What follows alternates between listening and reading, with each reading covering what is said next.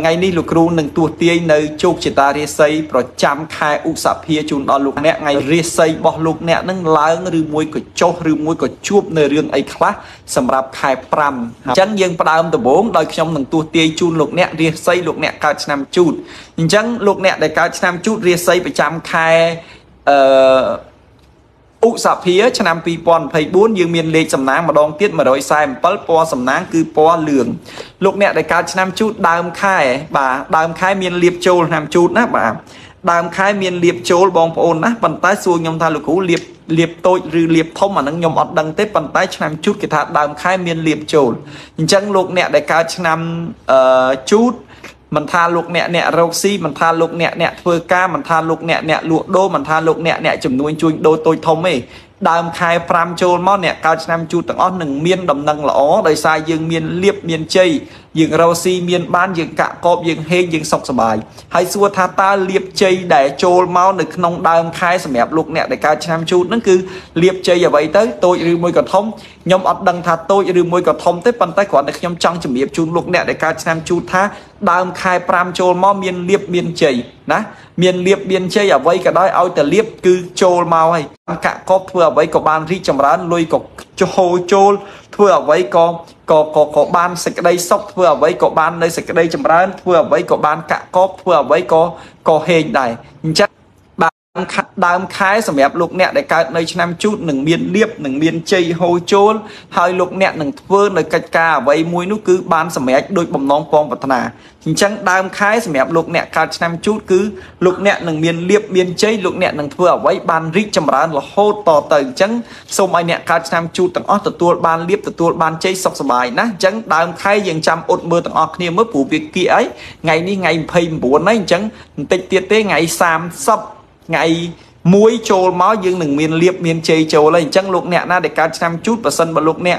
មានលៀបមានជ័យអីសូមលោកអ្នកជួយប្រាប់លោកគ្រូមហាជុំផងយើងចាំមើលលៀបជ័យអ្វីទៅណាបាទអញ្ចឹងដើមខែលៀបហូរចូលសម្រាប់លោកអ្នកដែលកើតនៅឆ្នាំជូតបាទហើយអញ្ចឹងចន្លោះពីថ្ងៃ6ដល់ថ្ងៃ9ចន្លោះពីថ្ងៃ6ដល់ថ្ងៃ9លោកអ្នកដែលកើតឆ្នាំជូតគឺមិនឲ្យដើរផ្លូវឆ្ងាយទេប្រយ័ត្នមានរឿងបាទ មិនឲ្យដើរផ្លូវឆ្ងាយទេបងប្អូនណាបាទហាមដើរផ្លូវឆ្ងាយណាលោកអ្នកដែលកើតឆ្នាំជូតគឺពីថ្ងៃទី6ដល់ថ្ងៃទី9គឺហាមមិនឲ្យដើរផ្លូវឆ្ងាយទេផ្លូវឆ្ងាយហ្នឹងគឺសំដៅទៅលើ លោកអ្នកដែលធ្វើដំណើរមិនថាទៅណាទេជិះកប៉ាល់ហោះក្តីជិះទូកក្តីជិះឡានក្តីគឺហាមមិនឲ្យដើរផ្លូវឆ្ងាយទេសម្រាប់ថ្ងៃទី6ដល់ថ្ងៃទី9ហ្នឹងអញ្ចឹងបើសិនជាលោកអ្នកមានដំណើរហើយមានគម្រោងត្រូវចេញទៅណាចន្លោះនៅថ្ងៃទី6ដល់ថ្ងៃទី9នេះអ្នកកើតឆ្នាំជូតគួរលោកអ្នកលើកពេលលើកវេលាសិនពីព្រោះថាវាមិនទាន់ល្អប្រសើរសម្រាប់លោកអ្នកទេអញ្ចឹងពីថ្ងៃទី6ដល់ថ្ងៃទី9 គឺមិនឲ្យដើរផ្លូវឆ្ងាយទេអញ្ចឹងលោកអ្នកអាចទៅណាចិត្តចិត្តបានមិនគួរដើរផ្លូវឆ្ងាយទេណាបាទនៅចិត្តចិត្តហ្នឹងហើយអញ្ចឹងពីថ្ងៃទី6ដល់ថ្ងៃទី9អត់ឲ្យដើរផ្លូវឆ្ងាយទេណាបងប្អូនខ្ញុំសូមបញ្ជាក់ជូនបាទហើយពីថ្ងៃទី16ពីថ្ងៃទី16ដល់ថ្ងៃទី19ពីថ្ងៃទី16ដល់ថ្ងៃទី19សម្រាប់អ្នកដែលកើតឆ្នាំជូតគេថានឹងលក់របស់ដាច់បាទអ្នកដែលកើតឆ្នាំជូតលក់របស់ដាច់ ពីថ្ងៃទី16ដល់ថ្ងៃទី19លោកអ្នកដែលកើតឆ្នាំជូតនឹងលក់របស់ដាច់បាទលោកអ្នកនឹងលក់របស់ដាច់ណាហើយចង់ដឹងថាលោកអ្នកលក់របស់អីដាច់គឺខ្ញុំអត់ដឹងដែរអញ្ចឹងខ្ញុំសូមជូនពរឲ្យអ្វីដែលលោកអ្នកកំពុងតែចង់លក់អូម៉ាថាយើងកំពុងតែចង់លក់ដី យើងកំពុងតែចង់លក់ផ្ទះយើងកំពុងតែចង់ធ្វើអីមួយឲ្យបាននៅភាពសុខសប្បាយ គឺលោកអ្នកនឹងលក់បានអញ្ចឹងពីថ្ងៃ16ដល់ថ្ងៃទី19លោកអ្នកនឹងលក់របស់ដាច់ហើយអញ្ចឹងសូមឲ្យរបស់ដែលលោកអ្នកចង់លក់នឹងឲ្យបានលក់ដាច់ដោយបំណងពងប្រាថ្នាហើយក៏ធ្វើអ្វីបានកាក់កបហើយក៏បានរីកចម្រើនបានជោគជ័យផងដែរណាបាទពីថ្ងៃ16ដល់ថ្ងៃទី19ហើយពីថ្ងៃទី24 បាទពីថ្ងៃទី24ដល់ថ្ងៃទី26លោកអ្នកដែលកើតឆ្នាំជូតពីថ្ងៃទី24ដល់ថ្ងៃទី26លោកអ្នកដែលកើតឆ្នាំជូតតមាត់តមសម្ដីណាពីព្រោះអាចឆ្លោះគ្នាជាមួយនឹងគ្រួសារជាមួយប្តីប្រពន្ធអញ្ចឹងណាបាទអាចឆ្លោះគ្នា អញ្ចឹងពីថ្ងៃទី24ដល់ថ្ងៃទី26កូនចៅដែលកើតឆ្នាំជូតទាំងអស់គឺត្រូវតមាត់តមពាក្យតមសម្ដីហើយអត់ធ្មត់ហើយបើមិនតមាត់តមពាក្យតមសម្ដីទេគឺនឹងឆ្លោះគ្នាហើយឆ្លោះគ្នានឹងអត់មិនមែនឆ្លោះគ្នាជាមួយអ្នកណាទេអត់មិនមែនឆ្លោះគ្នាជាមួយអ្នកដតីហើយក៏អត់មិនមែនឆ្លោះគ្នាជាមួយនឹងអ្នកចិត្តខាងដែរគឺឆ្លោះគ្នាជាមួយនឹង ដីឆ្លោះគ្នាជាមួយនឹងគូសង្សារគូស្វាមីភរិយាចឹងពីថ្ងៃទី24ដល់ថ្ងៃទី26លោកអ្នកដែលកើតឆ្នាំជូតត្រូវតែប្រយ័ត្នតមាត់តមពាក្យតមសម្ដីត្រូវអត់ធ្មត់មិនត្រូវឆ្លោះគ្នាមិនត្រូវ អឺមិនត្រូវប្រកែកគ្នាមិនត្រូវតវ៉ាច្រើនទេបើសិនជាប្តីឬមួយប្រពន្ធថាឲ្យយើងទៅយើងក៏អត់ធ្មត់ទៅយើងក៏កុំតបតដែរកាលណាតែយើងតបតនៅចន្លោះពីថ្ងៃទី24ដល់ថ្ងៃទី26ហ្នឹងគឺនឹងមិនមានផលល្អទេគឺនឹងមានការឆ្លោះប្រកែកគ្នាហើយអញ្ចឹងកាលណាតែខឹងខុសខឹងខាតតែឆ្លោះគ្នាគឺនឹងមិនល្អទេអញ្ចឹងពីថ្ងៃទី24ដល់ថ្ងៃទី26សម្រាប់លោកអ្នកដែលកើតឆ្នាំជូតសូមមេត្តា តមមាត់តមពាក្យតមសម្ដីហើយកុំឆ្លោះគ្នាណាបាទហើយលោកអ្នកដែលកើតឆ្នាំជូតសូមលោកអ្នកកុំភ្លេច comment លេខសំណាងដែលខ្ញុំបានដាក់ជូនគឺលេខ147ហើយពណ៌សំណាងពណ៌លឿង comment លេខ147នាំលៀបនាំសំណាង share វីដេអូចេញ3ដងនាំលៀបនាំហេងនាំកាក់កបនាំជោគជ័យបាទអញ្ចឹងពីថ្ងៃទី24 ដល់ថ្ងៃទី26គឺត្រូវតមាត់តមកតមពាក្យសម្ដីកុំឆ្លោះកុំប្រកែកគ្នា ហើយនៅចុងខែ បាទចុងខែចុងខែ5លោកអ្នកកើតឆ្នាំជូតត្រូវប្រយ័ត្នសុខភាពបន្តិចបាទលោកអ្នកអឺឆ្នាំជូតនៅចុងខែគឺសុខភាពលោកអ្នកមិនល្អទេឈឺអញ្ចឹងលោកអ្នកដែលកើតឆ្នាំជូតពីពីនៅថ្ងៃចុងខែ5គឺលោកអ្នកត្រូវថែសុខភាព បាទត្រូវថែសុខភាពណាស់ពីព្រោះថាជើងលេខ បានបញ្ជាក់ថាសុខភាពរបស់លោកអ្នកមិនល្អប្រសើរទេអញ្ចឹងបើមិនថែសុខភាពទេអាហ្នឹងគឺអាចឈឺហើយបាទឈឺហ្នឹងមិនមែនឈឺតូចទេគឺឈឺធំ គឺឈឺខ្លាំងអញ្ចឹងត្រូវថែរក្សាសុខភាព គឺត្រូវតែធ្វើម៉េចអឺថែរក្សាសុខភាពឲ្យបានអត់ឲ្យលោកអ្នកចេះតែប្រឡែងអត់ឲ្យលោកអ្នកចេះតែអឺអឺបដ ாய் ទេអញ្ចឹងនៅចុងខែគឺត្រូវថែសុខភាពណាបាទអញ្ចឹងលោកអ្នកដែលកើតឆ្នាំជូត គឺសូមឲ្យលោកអ្នកទាំងអស់គ្នាប្រយ័ត្នប្រយែងហើយខ្ញុំសូមជូនពរដល់លោកអ្នកដែលកើតឆ្នាំជូតទាំងអស់សូមឲ្យអ្វីដែលខ្ញុំទាយល្អសូមឲ្យបានត្រូវហើយអ្វីដែលមិនល្អសូមឲ្យបោវាជាឆ្ងាយហើយអញ្ចឹងលេខសំណាងសម្រាប់លោកអ្នកដែលកើតឆ្នាំជូតសូមលោកអ្នក comment លេខ147ហើយដើមខែ គឺសូមឲ្យលោកអ្នកមានលៀបមានជ័យចូលចឹងទៅណាបាទអញ្ចឹងឲ្យហេងឲ្យកាក់កបដូចអ្វីដែល ទំនាយហៅលោកបានទូទាយសូមឲ្យលោកអ្នកបាននៅសេចក្តីសុខបាននៅសេចក្តីចម្រើន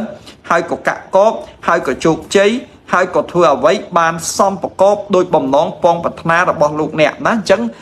រាសីសម្រាប់លោកអ្នកដែលកើតនៅឆ្នាំជូតប្រចាំខែ5គឺមានតែប៉ុណ្្នឹងទេហើយលោកអ្នកជួយ share ហើយជួយចែករំលែកទៅកាន់បងប្អូនដទៃទៀតដើម្បីទទួលនៅលៀបដើម្បីទទួលនៅសំណាងផងហើយបានបុណ្យបានកុសលហេតុអីបានបានបុណ្យកាលណាយើង share ទៅគេឃើញគេបានមើលរាសីដែរគេបានស្ដាប់ដែរអញ្ចឹងគេបានបុណ្យបានកុសលបានបានល្អហើយកាលណាគេបានមើលគេសប្បាយចិត្តគេដឹងរាសីរបស់គេយើងអ្នកចែករំលែកទៅយើងបានបុណ្យហើយ ចឹងយើង share ទៅដើម្បីយើងហេងណាបាទដើម្បីយើងមាននៅសេចក្តីសុខល្អនឹងនឹងគឺប៉ុណ្្នឹងណាបងប្អូនណាលោកអ្នកដែលកើតឆ្នាំជូតឥឡូវនេះចូលមកដល់លោកអ្នកដែលកើតនៅឆ្នាំឆ្លូវវិញម្ដង បាទឆ្នាំឆ្លូវរាសីរបស់លោកអ្នកប្រចាំខែ5ខែឧសភាគឺ អឺលេខសំណាងគឺលេខ351ពណ៌សំណាងគឺពណ៌ផ្កាឈូកអញ្ចឹងលោកអ្នកដែលកើតនៅឆ្នាំឆ្លូវសូមលោកអ្នក comment លេខសំណាងគឺលេខ351ហើយពណ៌សំណាងគឺលោកអ្នក comment ពណ៌ផ្កាឈូកណាបងប្អូនណាបាទអញ្ចឹងលោកអ្នកដែលកើតឆ្នាំឆ្លូវ គឺសូមលោកអ្នក comment លេខសំណាងលេខ351អញ្ចឹងលោកអ្នកណាដែលកំពុងតាមដានទស្សនានៅការ live របស់លោកគ្រូមហាជុំបើសិនជាលោកអ្នកកើតឆ្នាំឆ្លូវសូម comment លេខ351ហើយពណ៌សំណាងរបស់លោកអ្នកគឺពណ៌ផ្កាឈូកអញ្ចឹងលោកអ្នកនឹងទទួលលៀបទទួលជ័យទទួលបាននៅលៀបសំណាងហូរចូលធ្វើអ្វីក៏បានកាក់កបធ្វើអ្វីក៏បានរីកចម្រើនដែរបាទ អញ្ចឹងលោកអ្នកដែលកើតឆ្នាំឆ្លូវលោកអ្នកទាំងអស់គ្នាណាបាទរាសីរបស់លោកអ្នកប្រចាំខែ5គឺខ្ញុំនឹងជម្រាបជូនលោកអ្នកដើមខែលោកអ្នកពិបាកចិត្តបាទលោកអ្នកដែលកើតឆ្នាំឆ្លូវ គឺដើមខែលោកអ្នកពិបាកចិត្តណាស់បាទអញ្ចឹងរាល់ការធ្វើកិច្ចការងារជំនួញជួញដូរកិច្ចការងាររកស៊ី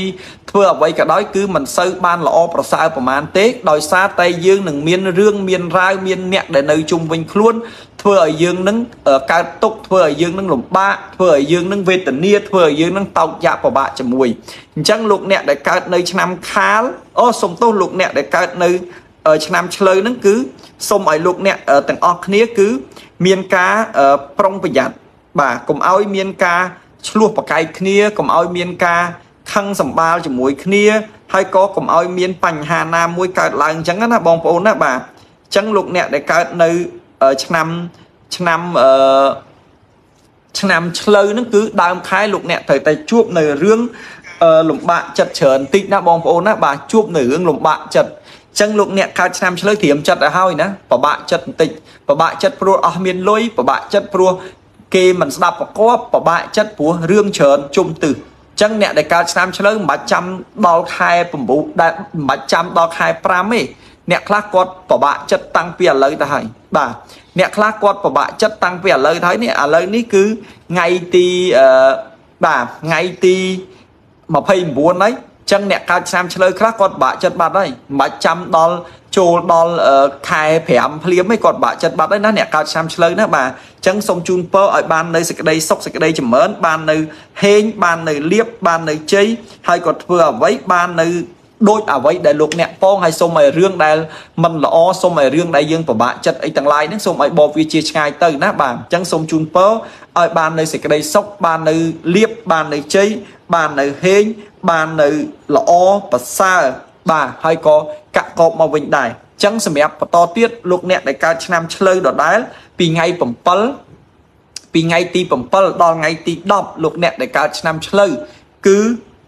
ឡើងប្រាក់ខែបាទឡើងប្រាក់ខែណាបាទឡើងប្រាក់ខែយើងចាំមើលមើលឡើងប្រាក់ខែឡើងយ៉ាងម៉េចគេថាលោកអ្នកដែលកើតឆ្នាំឆ្លូវពីថ្ងៃទី7ដល់ថ្ងៃទី10អ្នកដែលធ្វើការឬមួយក៏អ្នកដែលបើអ្នកធ្វើការជាមន្ត្រីរាជការជាបុគ្គលិកក្រុមហ៊ុនជាអ្វីក៏ដោយគឺនឹងបានឡើងបុណ្យស័ក្តិឋានៈទូនាទីឡើងប្រាក់ខែអញ្ចឹងអ្នកដែលកើតឆ្នាំឆ្លូវចន្លោះពីថ្ងៃ7ដល់ថ្ងៃ10គឺឡើងប្រាក់ខែហើយ ចឹងការងារធ្វើអីមួយគឺបានប្រាក់ខែមកឡើងជាងមុនប៉ុន្តែយើងអត់ដឹងថាឡើងប្រមាណទេប៉ុន្តែគ្រាន់តែជើងលេខគេថានឹងឡើងប្រាក់ខែហើយពីថ្ងៃទី7ដល់ថ្ងៃទី10ចឹងសบายចិត្តរីករាយជូនពរឲ្យអ្នកទាំងអស់គ្នាបានទទួលនៅជោគជ័យរីកចម្រើនណាបាទគឺបានឡើងប្រាក់ខែហើយអញ្ចឹងសូមជូនពរឲ្យបានសុខសบายកាក់កបអញ្ចឹងទៅព្រោះថាថ្ងៃ7ដល់ថ្ងៃទី10លោកអ្នកដែលកើតឆ្នាំឆ្លូវនឹងឡើងប្រាក់ខែបាទអញ្ចឹងសូមជូនពរណាឲ្យបានល្អប្រសើរដូចអ្វីដែលលោកអ្នកពងប្រាថ្នាទៅ បាទអញ្ចឹងសូមបន្តទៀតសម្រាប់លោកអ្នកដែលកើតនៅឆ្នាំឆ្លូវដដែលបាទចន្លោះពីថ្ងៃទី12បាទចន្លោះពីថ្ងៃទី12ដល់ថ្ងៃទី14បាទចន្លោះពីថ្ងៃទី12ដល់ថ្ងៃទី14លោកអ្នកដែលកើតឆ្នាំឆ្លូវគឺត្រូវប្រយ័ត្នបាត់របស់ណាបាទប្រយ័ត្នបាត់របស់ព្រោះលេខហ្នឹងលោកអ្នកដែលកើតឆ្នាំឆ្លូវពីថ្ងៃទី12ដល់ថ្ងៃទី14តាមជើងលេខគេថាបាត់របស់ ចឹងលោកអ្នកត្រូវប្រយ័ត្នគ្រប់រឿងទាំងអស់ឲ្យតែជារបស់ទ្រពរបស់យើងគឺមិនត្រូវបដែតបដោយគឺមិនត្រូវប្រឡែងទេពីថ្ងៃ12ដល់ថ្ងៃ14គឺប្រយ័ត្នបាត់របស់របស់ស្អីក៏ដោយឲ្យតែជារបស់ដែលជាកម្មសិទ្ធិរបស់យើងបូករួមទាំងលុយកាក់ បូករួមទាំងរបស់ប្រើប្រាស់ដូចជាទូរស័ព្ទដៃ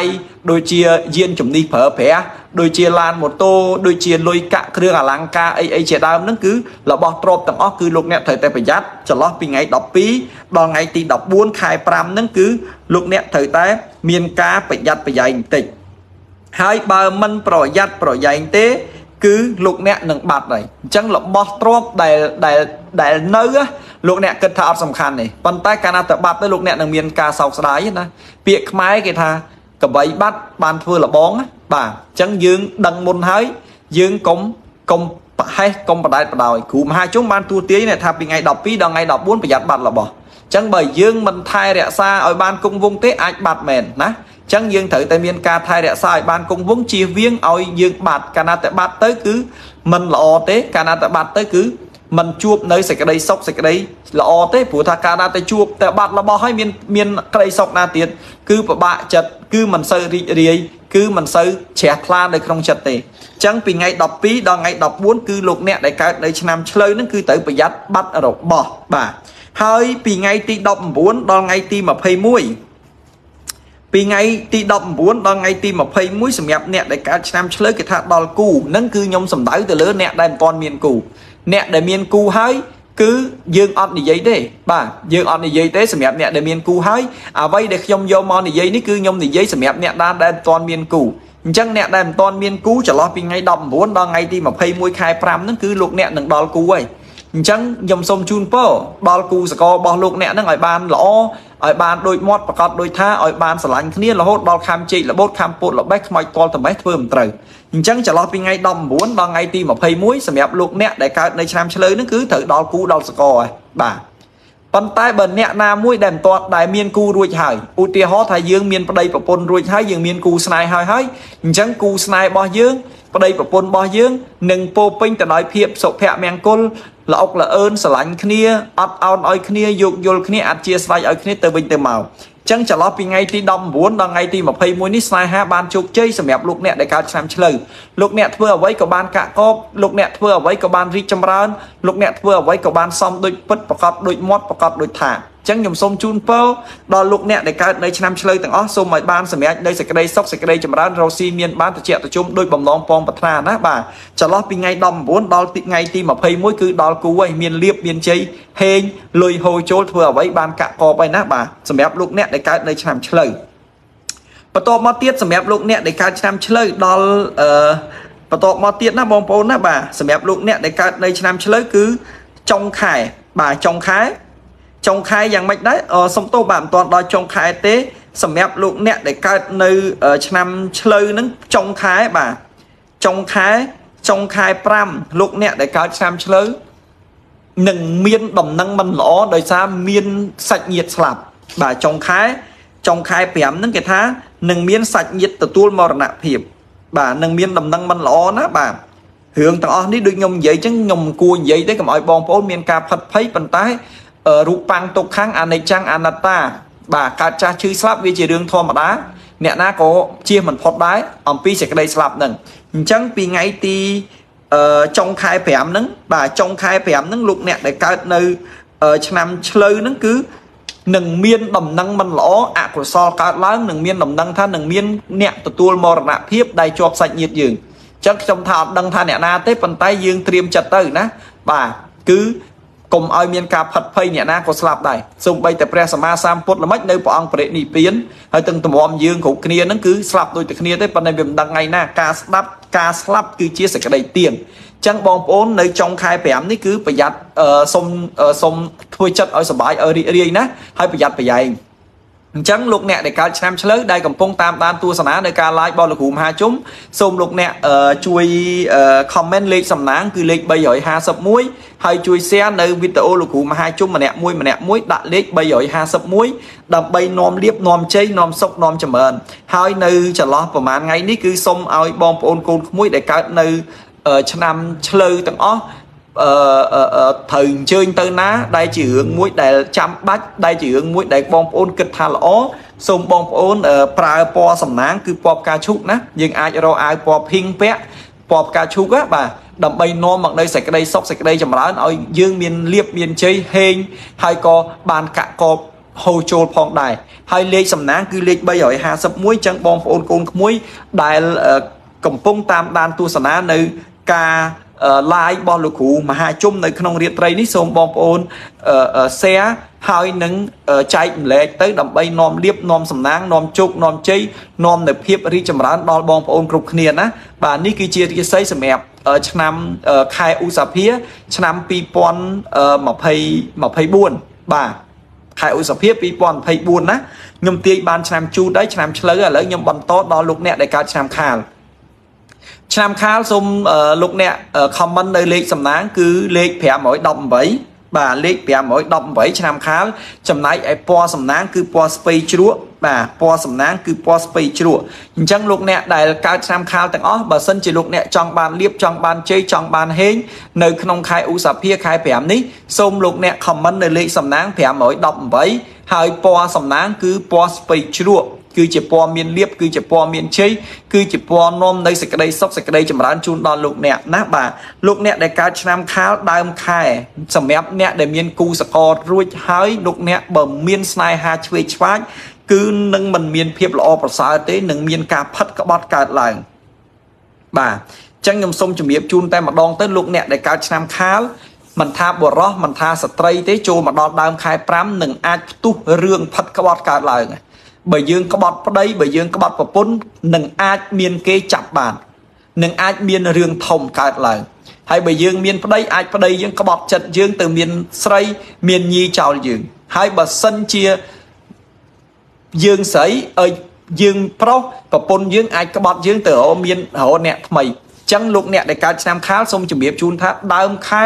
ប្រយ័ត្នមានរឿងកើតឡើង គឺពាក់ព័ន្ធជាមួយនឹងរឿងស្នេហាផិតក្បត់ណា រឿងស្នេហាផិតក្បត់ហ្នឹងមិនមែនសំដៅលើតែប្រុសលើតែប្តីមានស្រីទេក៏អាចនារីអាចមាននៅរឿងរ៉ាវមួយចំនួនកើតឡើងដែរអញ្ចឹងលោកអ្នកដែលកើតឆ្នាំខាលគឺត្រូវតែប្រយ័ត្នរឿងផិតក្បត់អ្វីដែលខ្ញុំសម្គាល់ខ្វល់នេះគឺភាកច្រើនស្រីស្រីដែលកើតឆ្នាំខាលគឺប្រយ័ត្នប្តីមានស្រីនៅដើមខែ5ហ៊ាននិយាយចឹងហ្មងបាទលោកអ្នកដែលកើតឆ្នាំខាលគឺត្រូវតែប្រយ័ត្នប្តីមានស្រីនៅដើមខែ5ហ្នឹង ចឹងខ្ញុំមិនហៅខ្ញុំមិនរោទេប៉ុន្តែបងប្អូនត្រូវតែគិតមើលត្រូវតែសម្គាល់មើលខៃលោប្តីមានស្រីពិតមែនណាបាទដើមខែមានរឿងផាត់ក្បត់ចូលមកអញ្ចឹងខែ5បងប្អូនត្រូវតែប្រយ័ត្នអ្នកខ្លះមិនតាន់ដល់ខែ5ទេចុងខែ4ហ្នឹងប្តីមានស្រីលួចតាមដានស៊ើបអង្កេតមើលឃើញបាត់ហើយប៉ុន្តែមិនថ្មីទេបាទខ្ញុំសូមជូនពរឲ្យបានសុខសប្បាយហើយបើពិបាកចិត្តទេបើសិនជាប្តីមានស្រីទេអីទេអាហ្នឹងវាស្រួលទេលោកគ្រូមហាជុំជួយបានណាអាចអឺ ជួបលោកគ្រូបានលោកគ្រូជួយបានអាហ្នឹងមិនមែនថាអូទាឲ្យគេមានសហាយហើយឯងជួយអត់ទេណាខ្ញុំមិនចង់ទៅជួយអីណាណាទេប៉ុន្តែគ្រាន់តែថាអ្នកដែលកើតឆ្នាំខាលហ្នឹងដើមខែ5ហ្នឹងគឺប្រយ័ត្នមានរឿងផិតក្បត់កើតឡើងណាប៉ុន្តែរឿងផិតក្បត់ហ្នឹងអត់ប្រយ័ត្នបានទេតែវាមានហ្នឹងគឺវាមានហើយប៉ុន្តែសូមបោវាជាឆ្ងាយទៅអញ្ចឹងដើមខែគឺប្រយ័ត្នមានរឿងផិតក្បត់ព្រោះជើងលេខគេថាហើយណាបាទផិតក្បត់ហ្នឹងមិនមែនតែប្តីមានស្រីទេអាចប្រពន្ធហ្នឹងក៏អាចក្បត់ប្តីបានដែរ ចឹងត្រូវតែប្រយ័ត្នប្រយែងឲ្យមែនតែនសម្រាប់លោកអ្នកដែលកើតឆ្នាំខាលហើយជាពិសេសអ្នកដែលហេតុរហូតប្រោប្រោដែលតែងតែមានអ្នកខាងក្រៅច្រើនពេកអញ្ចឹងចង់លាក់ការមិនឲ្យប្រពន្ធដឹងដើមខែហ្នឹងប្រអាក់តាក់តងគ្នាសិនហ៊ានតែតាក់តងគ្នាចុចចុងបញ្ចប់គឺនឹងមានរឿងធំកើតឡើងហើយអញ្ចឹងសូមឲ្យលោកអ្នកមានការប្រយ័ត្នប្រយែងបន្តិចបាទសម្រាប់លោកអ្នកដែលកើតនៅឆ្នាំខាលហើយខ្ញុំសូមបន្តទៀតសម្រាប់លោកអ្នកដែលកើតឆ្នាំខាលដដែល ពីថ្ងៃទី6ដល់ថ្ងៃទី9លោកអ្នកដែលកើតឆ្នាំខាលនឹងមានលៀបធំចូលនឹងមានលៀបធំចូលបាទនឹងមានលៀបធំចូលណាសម្រាប់លោកអ្នកដែលកើតឆ្នាំខាលពីថ្ងៃទី6ដល់ថ្ងៃទី9លោកអ្នកដែលកើតឆ្នាំខាលនឹងមានលៀបធំចូលហើយបាទអញ្ចឹងលោកអ្នកចាំមើលមើលថាតើពីថ្ងៃទី6ដល់ថ្ងៃទី9ហ្នឹងយើងនឹងមានលៀបអីចូល យើងនឹងមានលៀបអីចូលណាបងប្អូនណាបាទអញ្ចឹងពីថ្ងៃទី6ដល់ថ្ងៃទី9លោកអ្នកដែលកើតឆ្នាំខាលនឹងមានលៀបធំចូលហើយហើយលៀបធំយករបស់យើងនឹងគឺលៀបលុយកាក់ទៀតមិនមែនលៀបអឺអឺធម្មតាទេបាទអញ្ចឹងពីថ្ងៃទី6ដល់ថ្ងៃទី9សម្រាប់លោកអ្នកដែលកើតនៅឆ្នាំខាលនឹងមានលៀបធំហូរចូល ចឹងខ្ញុំសូមជូនពរដល់លោកអ្នកដែលកើតឆ្នាំខាលទាំងអស់ពីថ្ងៃទី6ដល់ថ្ងៃទី9សូមឲ្យមានលៀបសូមឲ្យមានជ័យសូមឲ្យមានអវ័យហូរចូលឲ្យបានដូចមាត់ប្រកបដូចថាណាសូមឲ្យលៀបនោះคล้ายទៅជាលៀបមួយធំដែលអាចដោះស្រាយដោះតល់នៅអវ័យអវ័យគ្រប់យ៉ាងដែលយើងកំពុងតែរាំងស្ទះដោះស្រាយដោះតល់នៅអវ័យអវ័យដែលយើងកំពុងតែជួបប្រទះណាបងប្អូនណាបាទហើយលោកអ្នកដែលកើតឆ្នាំខាលដដែលចន្លោះពីថ្ងៃ13ដល់ថ្ងៃទី16 លោកអ្នកដែលកើតឆ្នាំខាលដដែលចន្លោះពីថ្ងៃ13ដល់ថ្ងៃ16លោកអ្នកនឹងនឹងមានឱកាសចេញទៅឆ្ងាយបាទមានឱកាសចេញទៅឆ្ងាយណាបងប្អូនណាបាទមានឱកាសទៅឆ្ងាយអញ្ចឹងមានឱកាសទៅឆ្ងាយហ្នឹងបានន័យថាមិនមែននៅក្នុងស្រុកទេគឺក្រៅស្រុក អញ្ចឹងចន្លោះពីថ្ងៃ13ដល់ថ្ងៃទី16សម្រាប់អ្នកណាដែលទន្ទឹងរង់ចាំយូរហើយចង់ទៅរស់នៅស្រុកគេចង់ទៅរស់នៅស្រុកក្រៅចង់ទៅរស់នៅនាយសមុទ្រឬមួយចង់ទៅដើរលេងកំសាន្តទេសចរនៅក្រៅប្រទេសអីគឺពីថ្ងៃ13ដល់ថ្ងៃទី16ហ្នឹងគឺលោកអ្នកនឹងដឹងដំណឹងថាលោកអ្នកអាចទៅនៅឯនាយសមុទ្រនៅឆ្ងាយនៅក្រៅស្រុកឬមួយក៏មានឱកាសចេញទៅណាចឹងពីថ្ងៃទី13ដល់ថ្ងៃទី16គឺយើងនឹងមានឱកាសចេញទៅនៅខាងក្រៅស្រុកហើយ ចឹងខ្ញុំសូមជូនពរឲ្យលោកអ្នកទាំងអស់បានសម្រេចដោយបំណងណាបាទជាពិសេសសម្រាប់អ្នកណាដែលមានកម្រោងចង់ទៅនៅអាមេរិកចង់ទៅនៅអីស្រុកក្រៅអីឥឡូវគឺឆ្នាំខាលគេថាពីថ្ងៃ13ដល់ថ្ងៃទី16នឹងមានឱកាសបានទៅដោយបំណងប៉ងប្រាថ្នាហើយបាទដោយបំណងប៉ងប្រាថ្នាហើយណាបាទ ចឹងសូមជូនពរឲ្យអ្នកកើតឆ្នាំខាលទាំងអស់បានសម្រេចណាបាទចឹងបើសិនជាចង់បានសម្រេចសូម comment លេខសំណាងទៅលេខប៉ុន្មានមិញ518ហើយពណ៌សំណាងគឺពណ៌ស្វ័យជ្រក់សូមជូនពរឲ្យបាននៅសេចក្តីសុខសេចក្តីចម្រើនកាក់កបលុយកាក់មាសប្រាក់ហូរចូលហេងហេងធ្វើអ្វីបានជោគជ័យនៅក្នុងជីវិតរបស់លោកអ្នកហើយលោកអ្នកដែលកើតឆ្នាំខាលដដែលពីថ្ងៃទី20ដល់ថ្ងៃទី24លោកអ្នកដែលកើតឆ្នាំខាលដដែលពីថ្ងៃទី20ដល់ថ្ងៃទី24គឺមានអារម្មណ៍ហត់នឿយច្រើនណាស់បងប្អូនណា ហត់នឿយច្រើនហើយត្រូវបានគេបន្ទោសត្រូវបានគេអឺរោរឿងលៀបពណ៌ទៀតអញ្ចឹងពីថ្ងៃទី20ដល់ថ្ងៃទី24សម្រាប់លោកអ្នកដែលកើតឆ្នាំខាលអឺត្រូវគេបន្ទោសត្រូវគេលៀបពណ៌អញ្ចឹងអ្នកណាអ្នកបន្ទោសអ្នកដែលនៅជុំវិញខ្លួនយើងបើនៅធ្វើការអ្នកធ្វើការជាមួយបន្ទោសបើនៅផ្ទះបងប្អូនសាច់ញាតិបន្ទោសប្រពន្ធបន្ទោសចឹងពីថ្ងៃទី20ដល់ថ្ងៃទី24បងប្អូនអ្នកកើតឆ្នាំខាលនឹងត្រូវមានគេបន្ទោសនឹងត្រូវមានគេ អឺស្ដីឲ្យដែលបំផ្លាញទឹកចិត្តយើងជាទម្ងន់ដែលថាយើងខិតខំប្រឹងប្រែងធ្វើកិច្ចការនឹងហើយយើងខិតខំប្រឹងប្រែងធ្វើនៅការងារនឹងហើយប៉ុន្តែស្រាប់តែគេអឺបន្ទោសបងប្អូនស្រាប់តែគេបន្ទោសមិនឲ្យយើងនឹងបាននៅសេចក្តីសុខបាននៅសេចក្តីចម្រើនទេចឹងបងប្អូនដែលកើតនៅឆ្នាំខាលហ្នឹងគឺពីថ្ងៃទី20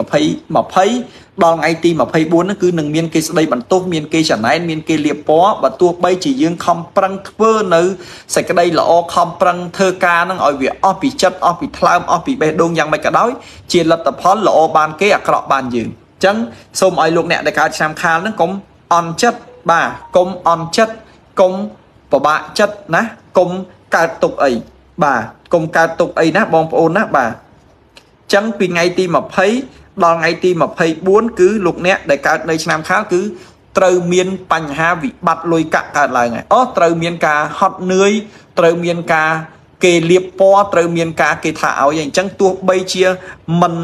មិនទទួលបានការកោតសរសើរហើយធ្វើការហត់អីនៅ មានរឿងគេស្ដីឲ្យគេបន្ទោសគេអីចឹងទៀតអញ្ចឹងវាជាទម្លាប់សម្រាប់យើងដែលកើតឆ្នាំខាលហើយដែលតែងតែធ្វើល្អដាក់គេឲ្យมันបានផលមកវិញដែលតែងតែខិតខំប្រឹងប្រែងជួយជ្រុំជ្រែងអ្នកដែលនៅជុំវិញខ្លួនហើយនៅតែយើងមិនទទួលបាននៅភាពល្អប្រសើរឡើងវិញអញ្ចឹងយើងកុំអន់ចិត្តយើងខំប្រឹងអំពើធ្វើអំពើល្អតទៀតពីព្រោះថាអំពើល្អរបស់យើងដែលវាមិនសាបសូន្យទេ ចឹងណាអ្នកកើតឆ្នាំខាលគឺត្រៀមចិត្តពីថ្ងៃទី20ដល់ថ្ងៃទី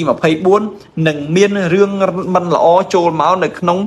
ជីវិតរបស់លោកអ្នកឯងហើយបន្តមកទៀតលោកអ្នកដែលកើតនៅឆ្នាំខាលដដែលចុងខែ5គឺប្រយ័ត្នចាញ់បោកគេលោកអ្នកដែលកើតឆ្នាំខាលនៅចុងខែ5គឺប្រយ័ត្នចាញ់បោកគេណានៅចុងខែ5នេះប្រសិនបើមានអ្នកណាប្រវល់រោគស៊ីប្រវល់បណ្ដាក់ទុនឬមួយក៏ពឹងពាក់យើងពាក់ព័ន្ធជាមួយរឿងអីមួយ គឺសូមបងប្អូនកូនក្មួយត្រូវមានការប្រយ័ត្នប្រយែងហើយក៏ថ្លឹងថ្លែងឲ្យបាន គ្រប់ជ្រុងជ្រោយមិនមែនចេះតែបថុយធ្វើទេគឺមិនមែនបាននៅផលល្អទេពីព្រោះលេខគេបានប្រាប់ថានៅចុងខែ5គឺបងប្អូនកូនក្មួយដែលកើតឆ្នាំខាលទាំងអស់តោងឲ្យមានការប្រុងប្រយ័ត្នបើមិនមានការប្រុងប្រយ័ត្នឲ្យបានខ្ពស់ទេគឺលោកអ្នកនឹងមានការចាញ់បោកគេហើយហើយទៅចាញ់បោកគេហើយគឺវាមិនដែលល្អទេពាក្យចាញ់បោកគេគឺខាតបងសពគ្រប់ខាតបងទាំងលុយកាក់ខាតបងទាំងគេឈ្មោះខាតបងទាំងកិត្តិយសចឹងបងប្អូនដែលកើតនៅឆ្នាំខាលទាំងអស់ចុងខែ5គឺប្រយ័ត្នចាញ់បោកគេ ណាបាទចឹងខ្ញុំសូមជូនពរដល់បងប្អូនដែលកើតនៅឆ្នាំខាលទាំងអស់សូមឲ្យមានលៀបមានជ័យសូមឲ្យបានសម្រេចដោយអ្វីដែលលោកអ្នកពងសូមឲ្យធ្វើអ្វីបានកកប៉ុន្តែខ្ញុំសូមផ្ដាំថាចុងខែគឺត្រូវប្រយ័ត្នចាញ់បោកគេណាចុងខែគឺប្រយ័ត្នចាញ់បោកគេណាបាទហើយដើមខែក៏អញ្ចឹងដែរគឺត្រូវមានរឿងផិតក្បត់កើតឡើងសូមឲ្យរឿងទាំងអស់នេះមិនកើតឡើងចោះបាទប៉ុន្តែបើរឿងនេះបានកើតឡើងអស់បន្លាយយូរហើយសូមឲ្យវាបែកធ្លុះធ្លាយអញ្ចឹងទៅឲ្យដឹងឲ្យលឺសំណុកដោះស្រាយតទៅទៀត បាទអញ្ចឹងហើយលេខសំណាងសម្រាប់លោកអ្នកដែលកើតឆ្នាំខាលគឺលេខ518ហើយពណ៌សំណាងគឺពណ៌ស្ពៃជ្រក់អញ្ចឹងលោកអ្នកដែលកើតឆ្នាំខាលបើសិនជាលោកអ្នកចង់ធ្វើដំណើរទៅទីណាចង់ធ្វើអីឲ្យហេងអាចពាក់អាវពណ៌ស្វ័យជ្រក់ហើយបើសិនជាលេខសំណាងគឺលេខខ្ញុំបានជម្រាបជូនមិញហើយគឺលេខ518តមកដល់លោកអ្នកដែលកើតនៅឆ្នាំថោះខ្ញុំទាយទួទាយឲ្យលោកអ្នកដែលកើតនៅឆ្នាំថោះអញ្ចឹងបងប្អូនលោកអ្នកដែលកើតនៅឆ្នាំថោះ សូមលោកអ្នកទាំងអស់គ្នាខមមិននៅលេខសំណាងគឺលេខ219ចំណែកឯពណ៌សំណាងសម្រាប់លោកអ្នកដែលកើតនៅ ឆ្នាំថោះគឺលោកអ្នកពណ៌ខៀវណាលេខសំណាងពណ៌ខៀវអញ្ចឹងរាសីសម្រាប់ខែ5គឺខែឧសភាលោកអ្នកដែលកើតឆ្នាំថោះសូមលោកអ្នកខមមិនលេខ219ហើយពណ៌សំណាងគឺពណ៌ខៀវបាទលេខសំណាងលេខ219ពណ៌សំណាងពណ៌ខៀវសម្រាប់លោកអ្នកដែលកើតនៅឆ្នាំថោះបាទ លោកអ្នកដែលកើតនៅឆ្នាំថោះរាសីរបស់លោកអ្នកដើមខែចូលមកឈឺច្រើនបាទដើមខែចូលមកឈឺច្រើនអញ្ចឹងត្រូវថែរក្សាសុខភាពបន្តិចសម្រាប់លោកអ្នកដែលកើតនៅឆ្នាំថោះពីព្រោះថាដើមខែចូលមកលោកអ្នករៀងឈឺច្រើនបន្តិចអីមិនសូវបានសុខភាពល្អទេអញ្ចឹងត្រូវតែ ថែរក្សាសុខភាពដើមខែ5ចូលមកគឺអ្នកកើតឆ្នាំថោះឈឺច្រើនហើយអញ្ចឹងគឺលោកអ្នកដែលកើតឆ្នាំថោះខ្ញុំសូមឲ្យលោកអ្នកដែលកើតឆ្នាំថោះហ្នឹងគឺត្រូវថែរក្សាសុខភាពឲ្យមែនតើណាបងប្អូនណាពីព្រោះថាអ្នកដែលកើតឆ្នាំថោះអ្នកខ្លះមិនទាន់ដល់ខែ5ស្រួលបួលផងគឺនៅចុងខែ4ហ្នឹងគាត់ឈឺបាត់ទៅហើយសុខភាពគាត់មិនសូវល្អទេសុខភាពរបស់គាត់មិនសូវជាអឺល្អប្រហែលទេនឹងអាចឈឺអញ្ចឹងគឺដើមខែ5គឺត្រូវថែរក្សាសុខភាពបន្តិចសម្រាប់លោកអ្នកដែលកើតនៅឆ្នាំថោះ លោកអ្នកដែលកើតនៅឆ្នាំថោះដដែលចន្លោះពីថ្ងៃទី7ដល់ថ្ងៃទី10លោកអ្នកនឹងលក់ដីលក់ធ្លីលក់របស់ដាច់ណាបងប្អូនណាបាទលក់របស់ដាច់ចឹងលក់របស់ដាច់ហ្នឹងលោកអ្នកដែលលក់ស្អីគឺខ្ញុំមិនដឹងទេប៉ុន្តែដឹងថាលក់ដាច់ណាចន្លោះពីថ្ងៃ7ដល់ថ្ងៃទី10ខែ5ឆ្នាំ2024លោកអ្នកដែលកើតនៅឆ្នាំថោះហ្នឹងពីថ្ងៃទី7ដល់ថ្ងៃទី10ហ្នឹងនឹងលក់របស់ដាច់ហើយចឹងរបស់ណាដែលលោកអ្នកលក់ដាច់គឺជារបស់ដែលលោកអ្នកចង់លក់ហើយមែនទេ បាទអ្នកខ្លះចង់លក់ដីទៅអ្នកខ្លះចង់លក់ផ្ទះទៅអ្នកខ្លះចង់លក់ឡានទៅអ្នកខ្លះចង់លក់ដូរអីចឹងទៅណាលក់ឲ្យដាច់ទៅអ្នកខ្លះចង់លក់កូនកំមុំឲ្យដាច់ចឹងភាសាលក់កូនកំមុំឲ្យដាច់ហ្នឹងមិនមែនភាសាអាក្រក់ជួយដូរអីទេណាគឺជា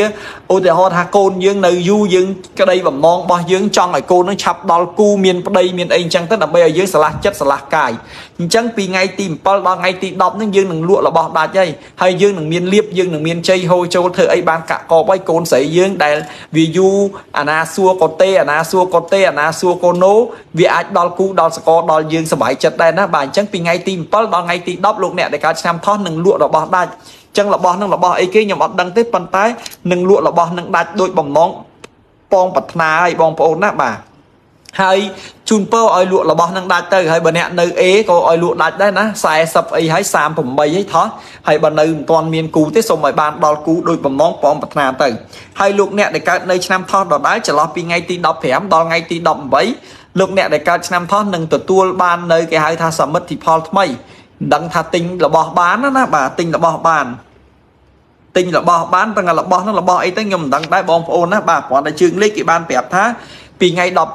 ថ្ងៃទី18លោកអ្នកដែលកើតឆ្នាំថោះនឹងទិញរបស់បានហើយសួរថារបស់ហ្នឹងរបស់អីគេខ្ញុំអត់ដឹងដែរគ្រាន់តែថាពីថ្ងៃ15ដល់ថ្ងៃទី18នេះយើងនឹងទិញរបស់បានហើយហើយរបស់ហ្នឹងមិនដឹងរបស់តូចរបស់ធំរបស់អីអត់ដឹងទេដឹងតែទិញរបស់បានអញ្ចឹងមានតែការអបអសាទរហើយនឹងជូនពរដល់លោកអ្នកដែលកើតឆ្នាំថោះហ្នឹងចន្លោះពីថ្ងៃទី 15ហ្នឹងដល់ថ្ងៃទី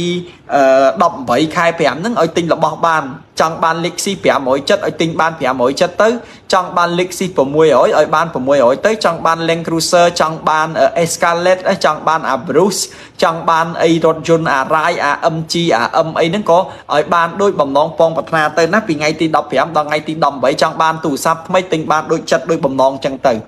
ពីថ្ងៃ22ដល់ថ្ងៃទី24 សម្រាប់លោកអ្នកដែលកើតនៅឆ្នាំថោះ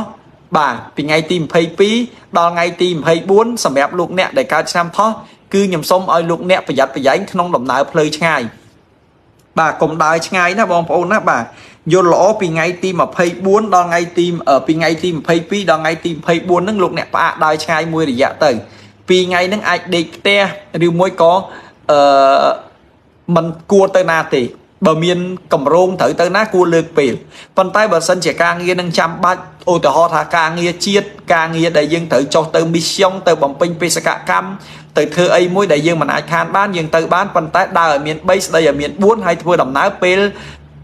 ថ្ងៃរះពេញពន្លឺជាវៀងការក្រោកធ្វើដំណើរពីពេលយប់អានឹងមិនល្អទេ ចឹងពីថ្ងៃទី22ដល់ថ្ងៃទី24បងប្អូនកុំដើរឆ្ងាយប៉ុន្តែបើចាំបាច់ត្រូវដើរហើយអានឹងត្រូវតែទៅប៉ុន្តែត្រូវតែថែរក្សាប្រយ័ត្នប្រយែងឲ្យមែនតែនណាបងប្អូនណាបាទហើយមិនថាដើរឆ្ងាយទេសូម្បីតែធ្វើដំណើរផ្លូវចិត្តផ្លូវអីទៅធ្វើការយកកូនទៅរៀនទៅឡើងផ្សារអីហ្នឹងក៏មានការប្រយ័ត្នប្រយែងដែរណាកុំប្រហែលឲ្យសោះបើមិនអញ្ចឹងទេនឹងមានបញ្ហាកើតឡើងលោកអ្នកដែលកើតឆ្នាំថោះនៅចុងខែ បាទលោកអ្នកដែលកើតឆ្នាំផុសនៅចុងខែអឺចុងខែ5នេះលោកអ្នកកើតឆ្នាំថោះបាទលោកអ្នកដែលកើតឆ្នាំថោះនៅចុងខែ5នេះគឺលោកអ្នកត្រូវតមពាកតមសម្ដីកុំប្រយ័ត្នឆ្លោះគ្នាណាប្រយ័ត្នឆ្លោះគ្នាប៉ុន្តែឆ្លោះគ្នាហ្នឹងគឺមិនមែនឆ្លោះគ្នាជាមួយនឹងអ្នកផ្ទះទេគឺឆ្លោះគ្នាជាមួយនឹងអ្នកក្រៅបាទនឹងឆ្លោះគ្នាជាមួយអ្នកដតីមិនថាអ្នកនៅកន្លែងធ្វើការងារអ្នក ចិត្តខាងឬមួយក៏អ្នកដែលនៅជុំវិញខ្លួននៃប្រយ័ត្នឲ្យមែនតែនចឹងពីថ្ងៃទីចុងខែ5ចុងខែ5លោកអ្នកដែលកើតឆ្នាំថោះគឺសូមឲ្យលោកអ្នកប្រយ័ត្នប្រយ័ត្នបន្តិចបាទប្រយ័ត្នបន្តិចរឿងអឺ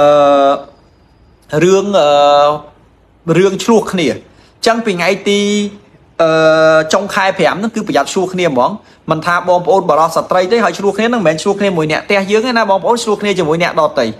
ឆ្លោះគ្នាជាមួយអ្នកដតីឆ្លោះគ្នាជាមួយអ្នកចិត្តខាងឆ្លោះគ្នាជាមួយអ្នកធ្វើការឬមួយក៏ឆ្លោះគ្នាជាមួយអ្នកណាផ្សេងអញ្ចឹងត្រូវតែមានប្រយ័ត្នព្រោះអាចមានចំនួនធំកើតឡើងនៅចុងខែ5អាចមានចំនួនធំកើតឡើងនៅចុងខែ5អញ្ចឹងយើងអត់ធ្មត់យើងកុំឆ្លោះគ្នាណាបងប្អូនណាខ្ញុំសូមជម្រាបជូនអញ្ចឹងណាកុំកុំឲ្យសោះកុំឆ្លោះគ្នាឲ្យសោះត្រូវអត់ធ្មត់អ្នកណាថាឲ្យយើងយើងកុំតបត អ្នកណាគេឌៀមដាមឲ្យយើងយើងកុំតបតហើយកាលណាតែយើងតបតកាលណាតែយើងនិយាយអីមិនត្រឹមត្រូវទេគឺនឹងអាចមានការឆ្លោះគ្នាហើយកាលណាតែឆ្លោះគ្នាគឺខាតហើយអត់ល្អទេព្រោះរាសីយើងដាក់យអូនយើងមិនល្អគេជេរយើងយើងជេរគេវិញយើងអ្នកខុសបាទគេឌៀមដាមឲ្យយើងយើងជេរគេយើងអ្នកខុសតាំងតែពីគេនឹងអ្នកបង្ករឿងសក់ហ្នឹងចឹងត្រូវលេយ៉ាងម៉េចអត់ធ្មត់ឲ្យបានណាបាទយើងអ្នកកាន់សាសនាពុទ្ធយើងត្រូវអត់ធ្មត់យកធម៌ខន្តីដាក់ក្នុងខ្លួន អ្នកណាគេថាអីថាទៅអ្នកណាគេនិយាយអីនិយាយទៅអ្នកណាគេថាអីថាទៅតែវាហត់វាឈប់និយាយហើយណាបងប្អូនណាបាទអញ្ចឹងសូមសូមកុំនិយាយឲ្យសោះកុំតបកុំតឲ្យសោះណាបាទនៅចុងខែហ្នឹងអញ្ចឹងលោកអ្នកដែលកើតឆ្នាំថោះខ្ញុំសូមជូនពរឲ្យលោកអ្នកបានជោគជ័យសេរីសួស្តីសុភមង្គលចូលមានដល់លោកអ្នកគ្រប់គ្នាហើយលេខសំណាងសម្រាប់លោកអ្នកដែលកើតឆ្នាំថោះគឺលេខ219ពណ៌សំណាងគឺពណ៌ខៀវ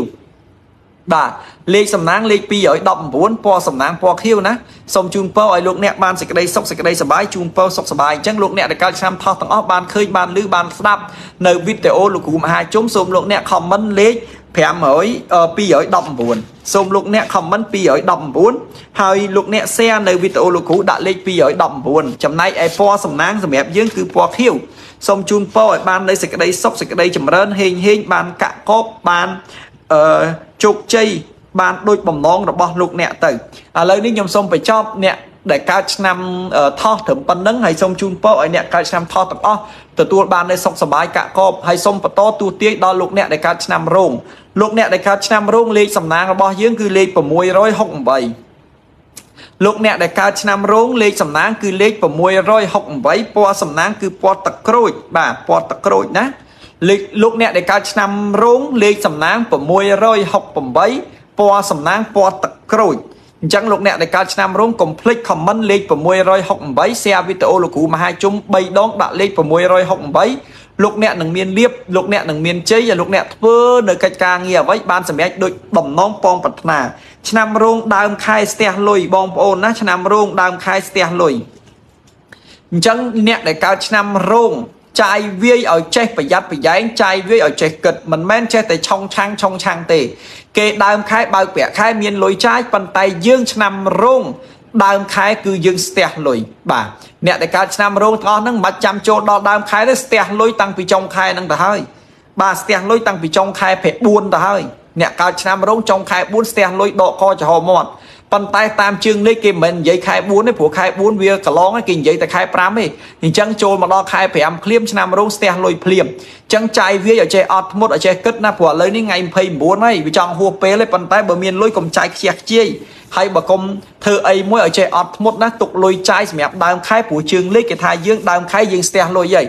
ពាក្យថាស្ទះលុយហ្នឹងមិនថាលុយចាយអត់គ្រាន់លុយសម្រាប់ចាយមួយខែលេងស្រាប់តែវាស្ទះទៅវាចាយអត់ដល់ខែណាវាអស់តាំងពីថ្ងៃទី 10អស់តាំងពីថ្ងៃទី20អញ្ចឹងធ្វើឲ្យយើងនឹងមានបញ្ហាកើតឡើងរឿងវិបត្តិសេដ្ឋកិច្ចឯងអញ្ចឹងឆ្នាំរោងដើមខែគឺស្ទះលុយឯងបងប្អូនណាបាទដើមខែគឺស្ទះលុយឯងហើយចន្លោះពីថ្ងៃទី8ដល់ថ្ងៃទី11លោកអ្នកដែលកើតឆ្នាំរោងបាទចន្លោះពីថ្ងៃទី8ដល់ថ្ងៃទី11លោកអ្នកដែលកើតឆ្នាំរោងបើសិនជាអ្នករកស៊ីបើសិនជាអ្នកវិនិយោគនឹងមានអ្នកដតីមានលុយច្រើនមកវិនិយោគជាមួយយើងបាទ នឹងមានគេមកវិនិយោគជាមួយយើងបងប្អូនណាបាទចឹងឧបមាថាយើងជាអ្នកលក់ដូររកស៊ីឧបមាថាយើងជាថៅកែជាអ្នកដែលរកស៊ីចំនួនជួញដូរធំចឹងយើងស្ទះលុយដើមខែប៉ុន្តែចូលពីថ្ងៃទី8ដល់ថ្ងៃទី11យើងនឹងមានដំណឹងល្អថានឹងមានអ្នកណាមួយដែលគេមានលុយច្រើនជាអ្នកវិនិយោគមកពីស្រុកឆ្ងាយ គេនឹងចាប់អារម្មណ៍លើគម្រោងរបស់យើងលើ plan របស់យើងលើកិច្ចការងាររបស់យើងគេនឹងជួយយើងឲ្យយើងនឹងកាន់តែមានដើមទុនបន្តនៅក្នុងការរកស៊ីមុខរបរចំនួនជួញដូររបស់យើងបងប្អូនយល់ទេអូម៉ានឲ្យយើងមានមានមុខរបរមួយអញ្ចឹងមានអ្នកមកពីស្រុកឆ្ងាយគេឲ្យលុយយើងថែមមកវិនិយោគមួយយើងឲ្យយើងនឹងរកស៊ីមុខរបរនឹងកាន់តែរីកចម្រើនកាន់តែធំធាត់ទៅមុខទៀតអញ្ចឹងលោកអ្នកដែលកើតឆ្នាំរោងគឺពីថ្ងៃទី8ដល់ថ្ងៃទី11 នឹងមានគេមកបណ្ដាក់ទុនវិនិយោគរកស៊ីជាមួយយើងឲ្យយើងនឹងមានភាពកាន់តែរីកចម្រើនកាន់តែល្អហើយបើសិនជាពីថ្ងៃចន្លោះពីថ្ងៃទី8ដល់ថ្ងៃទី11នឹងមានគេមកបណ្ដាក់ទុនរកស៊ីជាមួយយើងអឺមកធ្វើអីជាមួយយើង គឺបងប្អូនទទួលយកទៅ គឺអ្វីដែលគេនិយាយនេះគឺជាការពិតហើយអ្វីដែលយើងកំពុងតែមានបញ្ហាឆ្នាំរោងយើងកំពុងជន់ឆ្នាំផងយើងកំពុងរាំងស្ទះផងមានគេមកជួយដូចទេវតាចុះពីឋានលើមកប្រព្រំប្រសិទ្ធិបលីកាឲ្យយើងបានសុខបានចម្រើនរស់រាយល្អមកវិញអញ្ចឹងអញ្ចឹងអ្នកកើតឆ្នាំរោងគឺ ពីថ្ងៃ10ពីថ្ងៃ8ដល់ថ្ងៃទី11នឹងមានគេមកនាំបតតុនរ៉ូស៊ីនាំធ្វើអីឲ្យយើងបានកាក់កបនាំធ្វើអីឲ្យយើងរីកចម្រើនណាអញ្ចឹងសូមជូនពរឲ្យបានដូចមាត់ប្រកបដោយឋានណាបាទហើយលោកអ្នកដែលកើតឆ្នាំរោងដដែលពីថ្ងៃ15ដល់ថ្ងៃទី18លោកអ្នកដែលកើតឆ្នាំរោងដដែលពីថ្ងៃទី15ដល់ថ្ងៃទី18មានគេលៀបពណ៌បាទមានគេលៀបពណ៌មានគេចំណែននិន្ទាឈ្នានេះប្រកាច់ប្រខូចគេទៅយុះយើងរហូតឈានទៅដល់ថ្នាក់ជាតិទៀតបាទ រហូតទៅដល់ថ្នាក់ជាតិទៀតណាបងប្អូនណាបាទអញ្ចឹងបងប្អូនកូនក្មួយអ្នកដែលកើតឆ្នាំរោងចន្លោះពីថ្ងៃទី15ដល់ថ្ងៃទី18នឹងមានគេចំណែននិន្ទាលៀបពណ៌អញ្ចឹងពាក្យតាគេលៀបពណ៌ហ្នឹងសុកសុកគេលៀបពណ៌ដាក់យើងហ្មងយើងអត់ដឹងរឿងហ្នឹងទេប៉ុន្តែគេមកនិយាយបង្កាច់បង្ខូចយើងពីអាក្រក់ពីល្អទៅអាក្រក់ពីសទៅខ្មៅហើយគេនឹងលៀបពណ៌យើងឲ្យយើងនឹងស្អុយគេឈ្មោះស្អុយគេតយុះ ទូទាំងប្រទេសទៀតសម័យឥឡូវ Facebook បងប្អូនខ្លាំងប្រយ័ត្នគេលៀបពណ៌អ្នកដែលកើតឆ្នាំរោងគិតអីឲ្យបានគ្រប់ជ្រុងជ្រោយពីថ្ងៃ15ដល់ថ្ងៃទី18ត្រូវធ្វើអីឲ្យដឹងមុខដឹងក្រោយប្រយ័ត្នគេជេរទូទាំងប្រទេសណាអញ្ចឹងត្រូវតែប្រយ័ត្នប្រយែងរក្សាឲ្យបានហើយបើអ្នកណាគេលៀបពណ៌យើងអ្នកណាគេចំណែនយើងគេនិន្ទាយើងខ្ញុំអត់ឲ្យបងប្អូនតបតទេកុំតបកុំតអីសោះ អូម៉ាថាគេលៀបពណ៌យើងគេមកនិយាយដើមយើង គេទៅចំណែននិន្ទាឈ្នានេះយើងគេធ្វើឲ្យយើងនឹងស្អុយឈ្មោះស្អុយកិត្តិយសហើយយើងទៅតបតអានឹងកាន់តែស្អុយលើដើមឯងអញ្ចឹងបើសិនជារឿងនឹងកើតឡើងទៅហើយអានឹងយើងកុំតបតយើងនៅឲ្យស្ងៀមណាចាញ់ជាព្រះឈ្នះជាមាប៉ុន្តែបើរឿងនឹងមិនទាន់កើតឡើងទេយើងត្រូវប្រយ័ត្នប្រយែងកុំធ្វើអ្វីមួយឲ្យមានការជាចំណុចខ្សោយឲ្យគេចាប់បានឲ្យយើងនឹងខាតប្រយោជន៍ខាតនៅ អ្វីអ្វីដែលมันมันมันសំប្រកបណាបងប្អូនណាអញ្ចឹងអ្នកកើតឆ្នាំរោងខ្ញុំសូមជម្រាបពីថ្ងៃ15ដល់ថ្ងៃ18គឺប្រយ័ត្នគេលៀបពណ៌ប្រយ័ត្នអ្នកសត្រូវដែលគេចំណែននិន្ទាឈ្នានេះយើងហ្នឹងលៀបពណ៌ធ្វើបាបយើងអញ្ចឹងមុននឹងធ្វើអីមួយគឺបងប្អូនកូនក្មួយត្រូវតែទុកផ្លូវក្រោយខ្លួនឯងគិតពិចារណាថាអញធ្វើហ្នឹងវាប៉ះពាល់ទៅអត់ឬមួយក៏យ៉ាងម៉េចអញ្ចឹងបងប្អូនណាបាទ ចឹងសូមជូនពរឲ្យបានដូចបំណងពងប្រាថ្នាទៅអញ្ចឹងសម្រាប់អ្នកដែលកើតឆ្នាំរោងដដែលចន្លោះពីថ្ងៃទី22ដល់ថ្ងៃទី25ចន្លោះពីថ្ងៃទី22ដល់ថ្ងៃទី25លោកអ្នកមានលុយចូលលោកអ្នកមានលុយចូលណាលុយនឹងបានមកពីណាលុយនឹងមិនដឹងបានមកពីប្រភពណាទេគឺដឹងតែបានលុយចូលពេលខ្លះយើងអាចលក់របស់ដាច់ពេលខ្លះយើងអាចខ្ចីគេបានឬមួយយើងស្នើធនាគារខ្ចីលុយគេថែម ណាគេមិនទាន់ឆ្លើយគេមិនទាន់ថាស្រាប់តែដល់ពីថ្ងៃទី22ដល់ថ្ងៃទី25លោកអ្នកដែលកើតឆ្នាំរោង គឺនឹងមានលុយហូរចូលហើយបាទមានលុយគេឲ្យខ្ចីមានលុយចូលមកអញ្ចឹងអ្វីដែលពិបាកអ្វីដែលវេទនាគឺលែងពិបាកអីពីខែ5ហ្នឹងទៅដោយសារមានគេតម្លាក់លុយមួយដុំធំយកមកឲ្យយើងអញ្ចឹងយើងលុយហ្នឹងមិនមែនលុយដែលគេឲ្យយើងតែទេ free ទេគឺលុយដែលគេឲ្យយើងខ្ចីប៉ុន្តែយើងកំពុងតែលំបាកយើងកំពុងតែស្ទះមានលុយគេឲ្យខ្ចីគឺយើងនឹងបានល្អយើងនឹងបានជោគជ័យយើងនឹងបានរីកចម្រើនហើយអញ្ចឹងពីថ្ងៃទី22ដល់ថ្ងៃទី25 គឺយើងនឹងមានលុយហូរចូល បាទយើងនឹងមានលុយហូរចូល យើងនឹងធ្វើអីបានល្អហើយអញ្ចឹងគេនឹងមានលុយឲ្យយើងយកមកហើយចឹងចន្លោះពីថ្ងៃទី22ដល់ថ្ងៃទី25លោកអ្នកដែលកើតឆ្នាំរោងគឺនឹងមានលុយចូលលុយចូលហ្នឹងមិនមែនលុយដែលយើងធ្លាក់ពីលើមេឃមកទេលុយហ្នឹងគឺលុយរបៀបដូចគេឲ្យយើងខ្ចីដូចគេឲ្យយើងខ្ចីអមរយើងអត់មានលុយរកស៊ីយើងខ្ចីធនាគារយូរហើយគេអត់ឲ្យប៉ុន្តែចន្លោះពីថ្ងៃ22ដល់ថ្ងៃទី25ហ្នឹងគេឲ្យយើងខ្ចីហើយ ចឹងយើងបានលុយគេឲ្យខ្ចីកុំចេះតែចាយណាយើងត្រូវចាយផងខ្ចីគេស្រួលឯសងគេយ៉ាប់ខ្ចីគេបាន100000មកយកមកចាយ plate អស់ប៉ុន្តែត្រូវសងគេ5 10ឆ្នាំណាចឹងត្រូវប្រយ័ត្នណាជីវៈធនាគារនេះមួយអត់ស្រួលទេបងប្អូនកុំឲ្យសោះបាទបើជាបានជាប៉ុន្តែបើស្ទះឲ្យយកមកសិនមកខ្ចីបានទៅយកមកចាត់ចែងចាត់ចែងអស់ត្រូវសងគេណាបងប្អូនណាមួយខែបង់ឧមាជពាក់គេ100,000មួយខែបង់1000សាច់ដើមបានតែ30 40 50ដុល្លារទេក្រៅពីនឹងមក7 800នោះសិតតែលុយលុយការគេទាំងអស់អញ្ចឹងកុំកុំឲ្យសោះណាប៉ុន្តែអ្នកកើតឆ្នាំរោងគេថា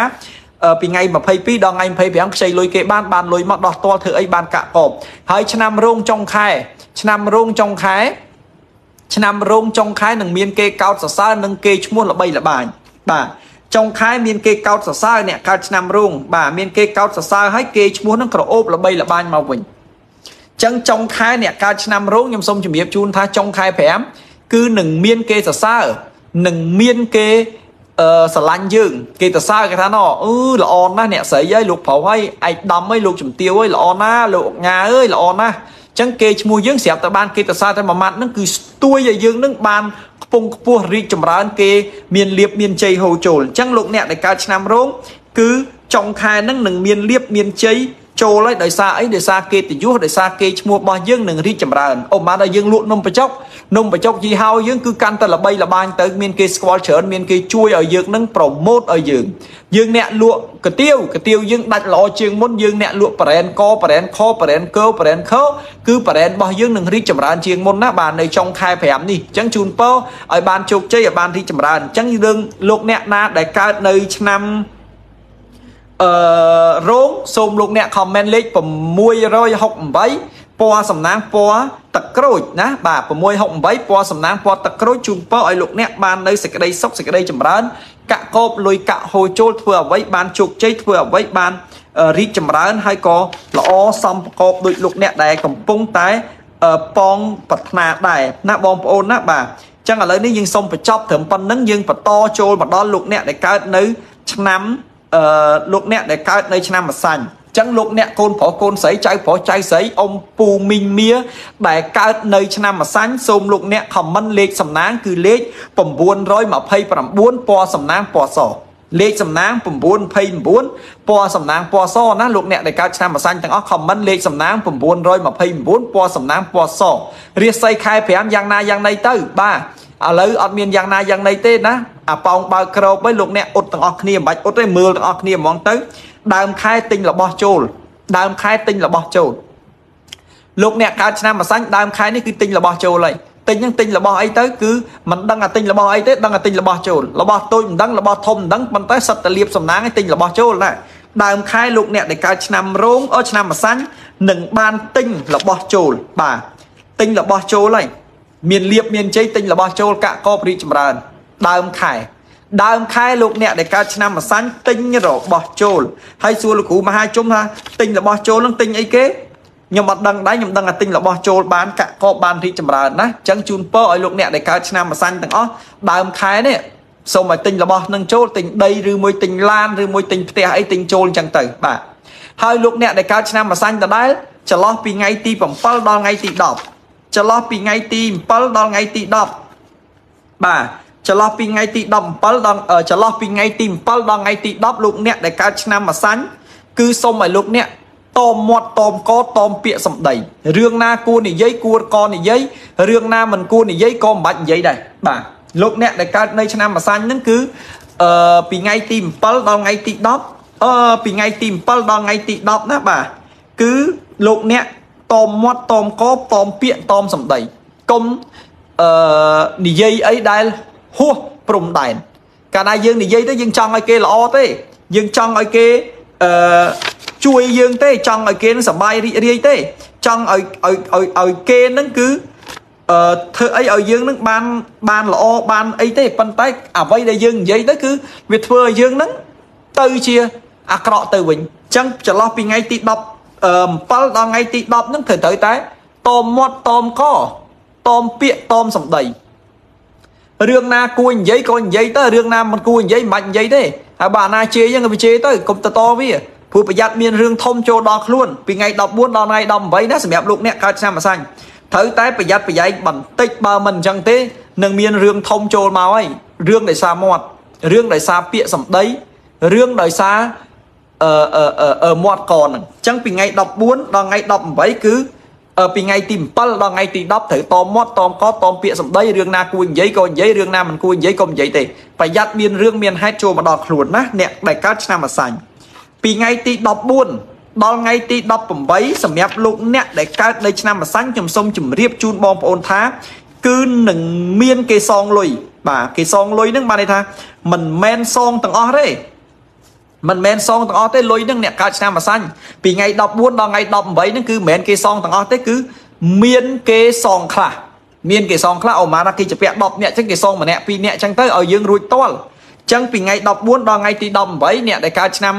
ម្សាញ់គឺមានគេសងលុយខ្លះអញ្ចឹងសួរតសងលុយខ្លាំងសងអីគេគឺខ្ញុំអត់ដឹងថាសងអីគេទេប៉ុន្តែមានគេសងខ្លះអញ្ចឹងខ្ញុំជូនពរឲ្យគេសងហ្នឹងអ្នកដែលជាពាក់លុយយើងទាំងបាម៉ានគេសងឲ្យអស់ទៅ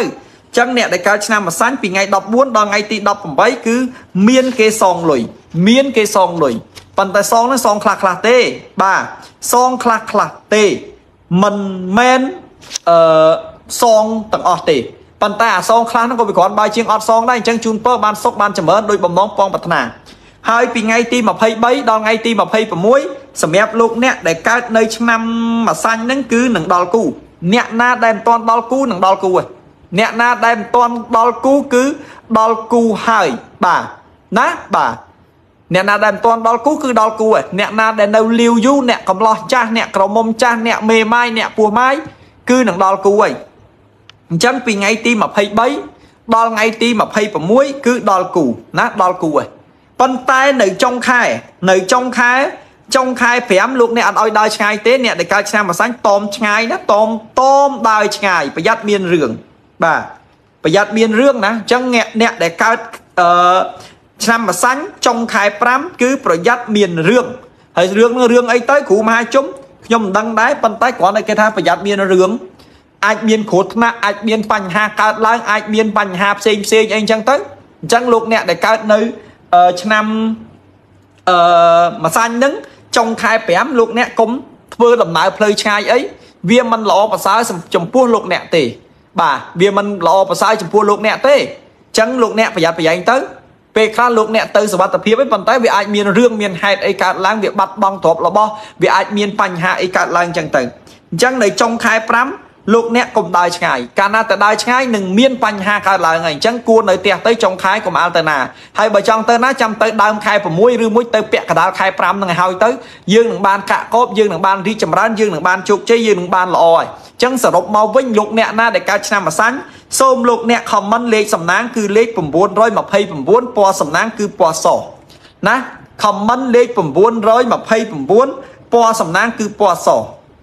ណាបាទពណ៌សំណាងគឺពណ៌ស comment លេខ929ពណ៌សំណាងពណ៌ស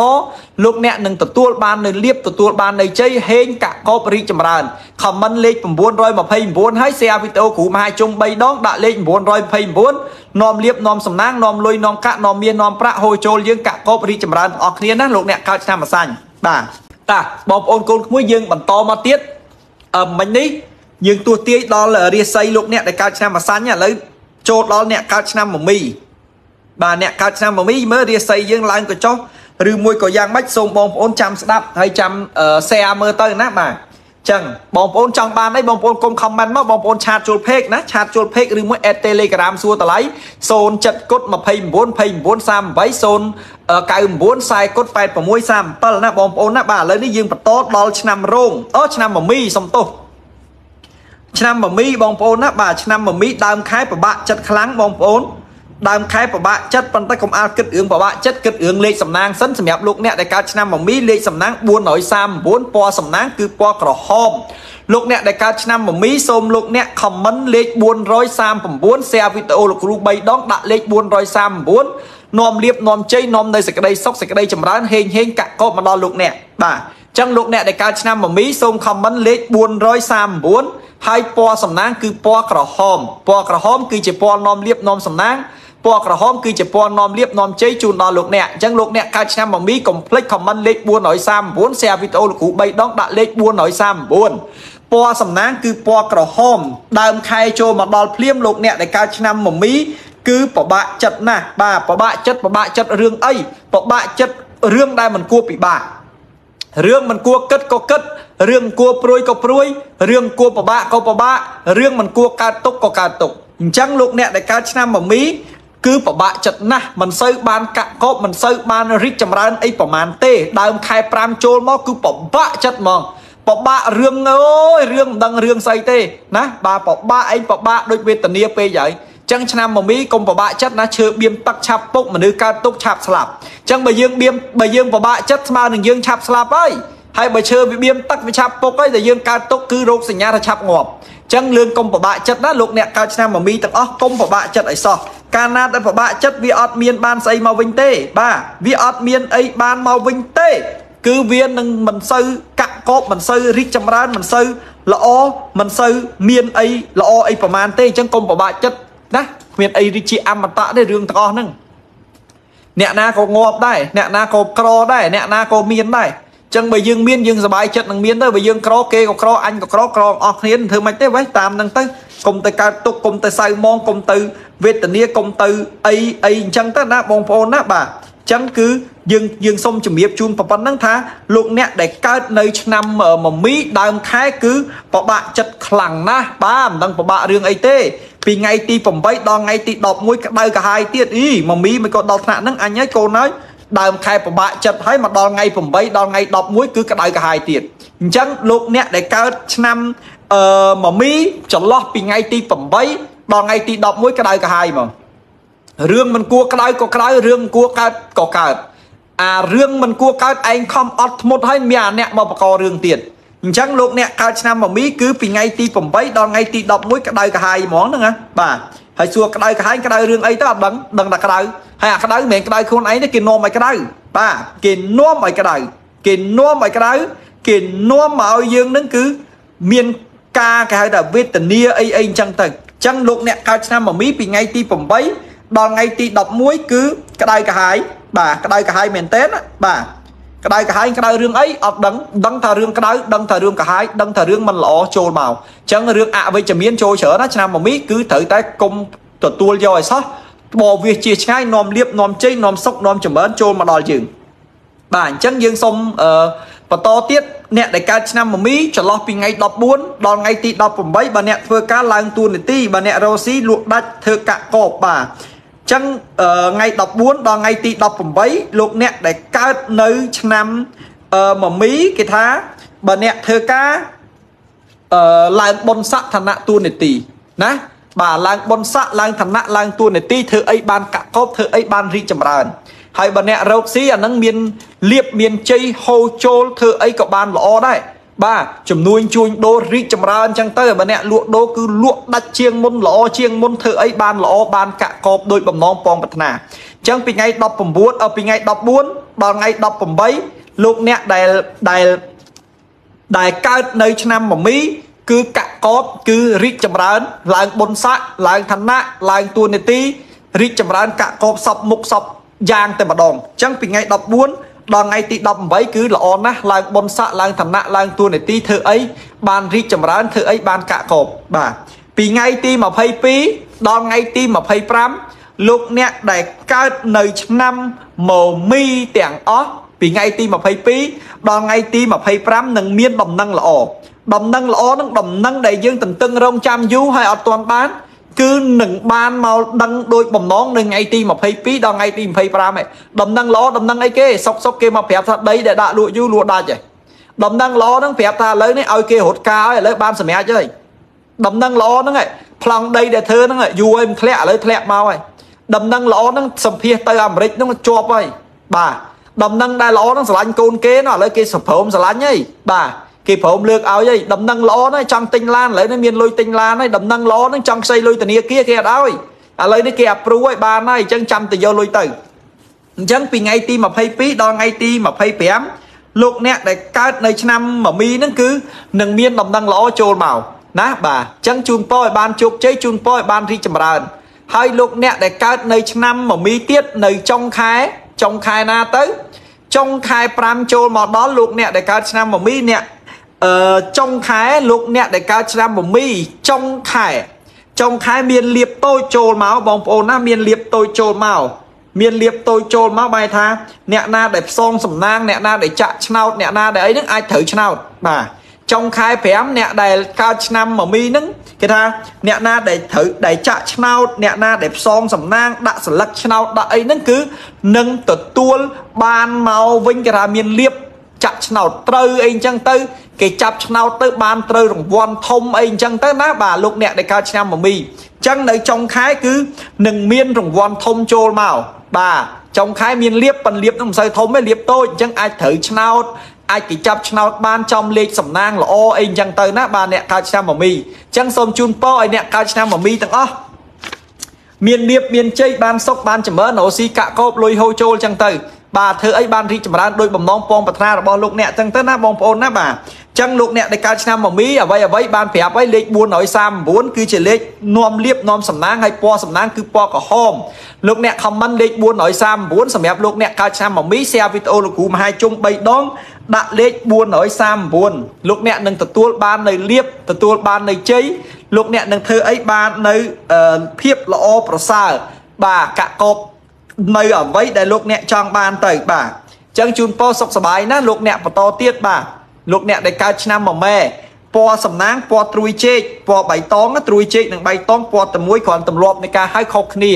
អង់គ្លេសហៅពណ៌ green អ្នកខ្លះគេហៅពណ៌ត្រួយជែកអ្នកខ្លះគេហៅពណ៌បៃតងអ្នកខ្លះគេហៅពណ៌ green អញ្ចឹងទៅអញ្ចឹងលោកអ្នកដែលកើតឆ្នាំមមែសូមលោកអ្នក comment លេខសំណាងគឺលេខ759ពណ៌សំណាងពណ៌ត្រួយជែក បាទអ្នកកើតឆ្នាំមមែ comment លេខសំណាងហើយនៅតាដាក់មកភ្លាម759បាទពណ៌សំណាងពណ៌ត្រួយជែកអ្នកកើតឆ្នាំមមែបាទដើមខែ ដើមខែកើបលុយលុយចូល បាទដើមខែកើបលុយតាមជើងលេខគេថាឆ្នាំ1ម៉ែដើមខែកើបលុយដើមខែ6កើបលុយកើបមិនគឺថាលក់ដាច់លក់ដូរដាច់មែនតែនហើយបើអ្នករោស៊ីគេថារោបានរោបានលុយហូរចូលមកពីលិចពីកើតពីជើងពីត្បូងអីចឹងទៅបាទ លុយហូរចូលកើបលុយដើមខែចូលមកកើបលុយហ្មងណាបាទហើយបានមកពីណាកើបលុយបានមកពីមុខរបររោស៊ីមិនមែនសុកសុកទៅកាន់កវត្តកាន់មិនមែនកាន់កឆេកាន់ល្អីទៅកើបលុយមកពីកន្លែងកើបអត់មានទេបាទប៉ុន្តែបើយើងរកស៊ីយើងលក់ដាច់ទៅបើអ្នកលក់បាយលក់ដាច់ចឹងទៅបើគ្រូពេទ្យដាច់ចឹងទៅបើអ្នកធ្វើអីគឺបានដាច់បានកាក់កោបចឹងទៅណាបាទដើមខែគឺកើបលុយហូរចូលហ្មងគឺអឺ នឹងមានលៀបមានជ័យសុខសប្បាយកាក់កោបលុយហូរចូលអីធ្វើអីក៏បានសម្រេចដូចចិត្តដូចបំណងប៉ងប្រាថ្នាអញ្ចឹងទៅណាសម្រាប់លោកអ្នកដែលកើតនៅឆ្នាំមួយម៉ែហើយពីថ្ងៃទី7ដល់ថ្ងៃទី10លោកអ្នកដែលកើតឆ្នាំមួយម៉ែខ្ញុំសូមជម្រាបជូនថាពិបាកចិត្តហើយមហាពិបាកខ្វះអ្នកយល់ចិត្ត ធ្វើអីក៏គេមិនត្រូវចិត្តធ្វើអីក៏គេមិនត្រូវកាក់កោបហឹងប្រឹងរលុយចាំគេឲ្យប្រឹងរលុយឲ្យគ្រួសាររីចម្រើនហើយនៅគេថាយើងណាអាក្រក់នៅគេថាយើងមិនល្អទៀតណាបាទគុណអស់100សំពៅទុកទោសមួយតូចចូលទៅរលាយសាបសូន្យ អញ្ចឹងលោកអ្នកដែលកើតនៅឆ្នាំមួយម៉ែនេះពីថ្ងៃទី7ដល់ថ្ងៃទី10ខ្វល់ខ្វាយចិត្តហ្មងខ្វល់ខ្វាយរឿងអត់ប្រយោជន៍អាអ្នកនៅជុំវិញខ្លួននឹងវាចេះតែររឿងចេះតែថាឲ្យយើងចេះតែធ្វើបាបយើងហើយគ្មានអាណាក្រៅពីប្តីក្រៅពីប្រពន្ធក្រៅពីកូនក្រៅពីចៅក្រៅពីបងក្រៅពីប្អូនទេអញ្ចឹងចន្លោះពីថ្ងៃទី7ដល់ថ្ងៃទី10លោកអ្នកដែលកើតឆ្នាំមួយម៉ែព្រួយចិត្តណា រឿងណាមិនគួរគិតក៏គិតរឿងណាមិនគួរព្រួយក៏ព្រួយរឿងណាមិនគួរកើតទុកក៏កើតទុកដែរពីថ្ងៃទី7ដល់ថ្ងៃទី10អញ្ចឹងឈប់គិតឈប់ព្រួយណានៅបានប៉ុណ្ណាយកប៉ុណ្ណឹងបើប្តីមិនយល់ចិត្តលេងប្តីកវត្តចោលបើប្រពន្ធមិនយល់ចិត្តលេងប្រពន្ធកវត្តចោលបើរួមនៅមិនយល់ចិត្តគ្នាមិនដៃយកគ្នាដៃលេងកវត្តចោលទៅណានិយាយលេងណាប៉ុន្តែគិតតាមនឹងទៅស្រេចលើបងប្អូនទេពីព្រោះរឿងរបស់បងប្អូនវាមិនមែនជារឿងខ្ញុំទេប៉ុន្តែខ្ញុំគ្រាន់តែជម្រាបប្រាប់លោកអ្នកឲ្យបានដឹងបានឮប៉ុណ្្នឹងទេបាទហើយ បន្ទាប់មកទៀតលោកអ្នកដែលកើតនៅឆ្នាំអឺមួយម៉ែតដែលពីថ្ងៃទី15បាទពីថ្ងៃទី15ដល់ថ្ងៃទី17ពីថ្ងៃទី15ដល់ថ្ងៃទី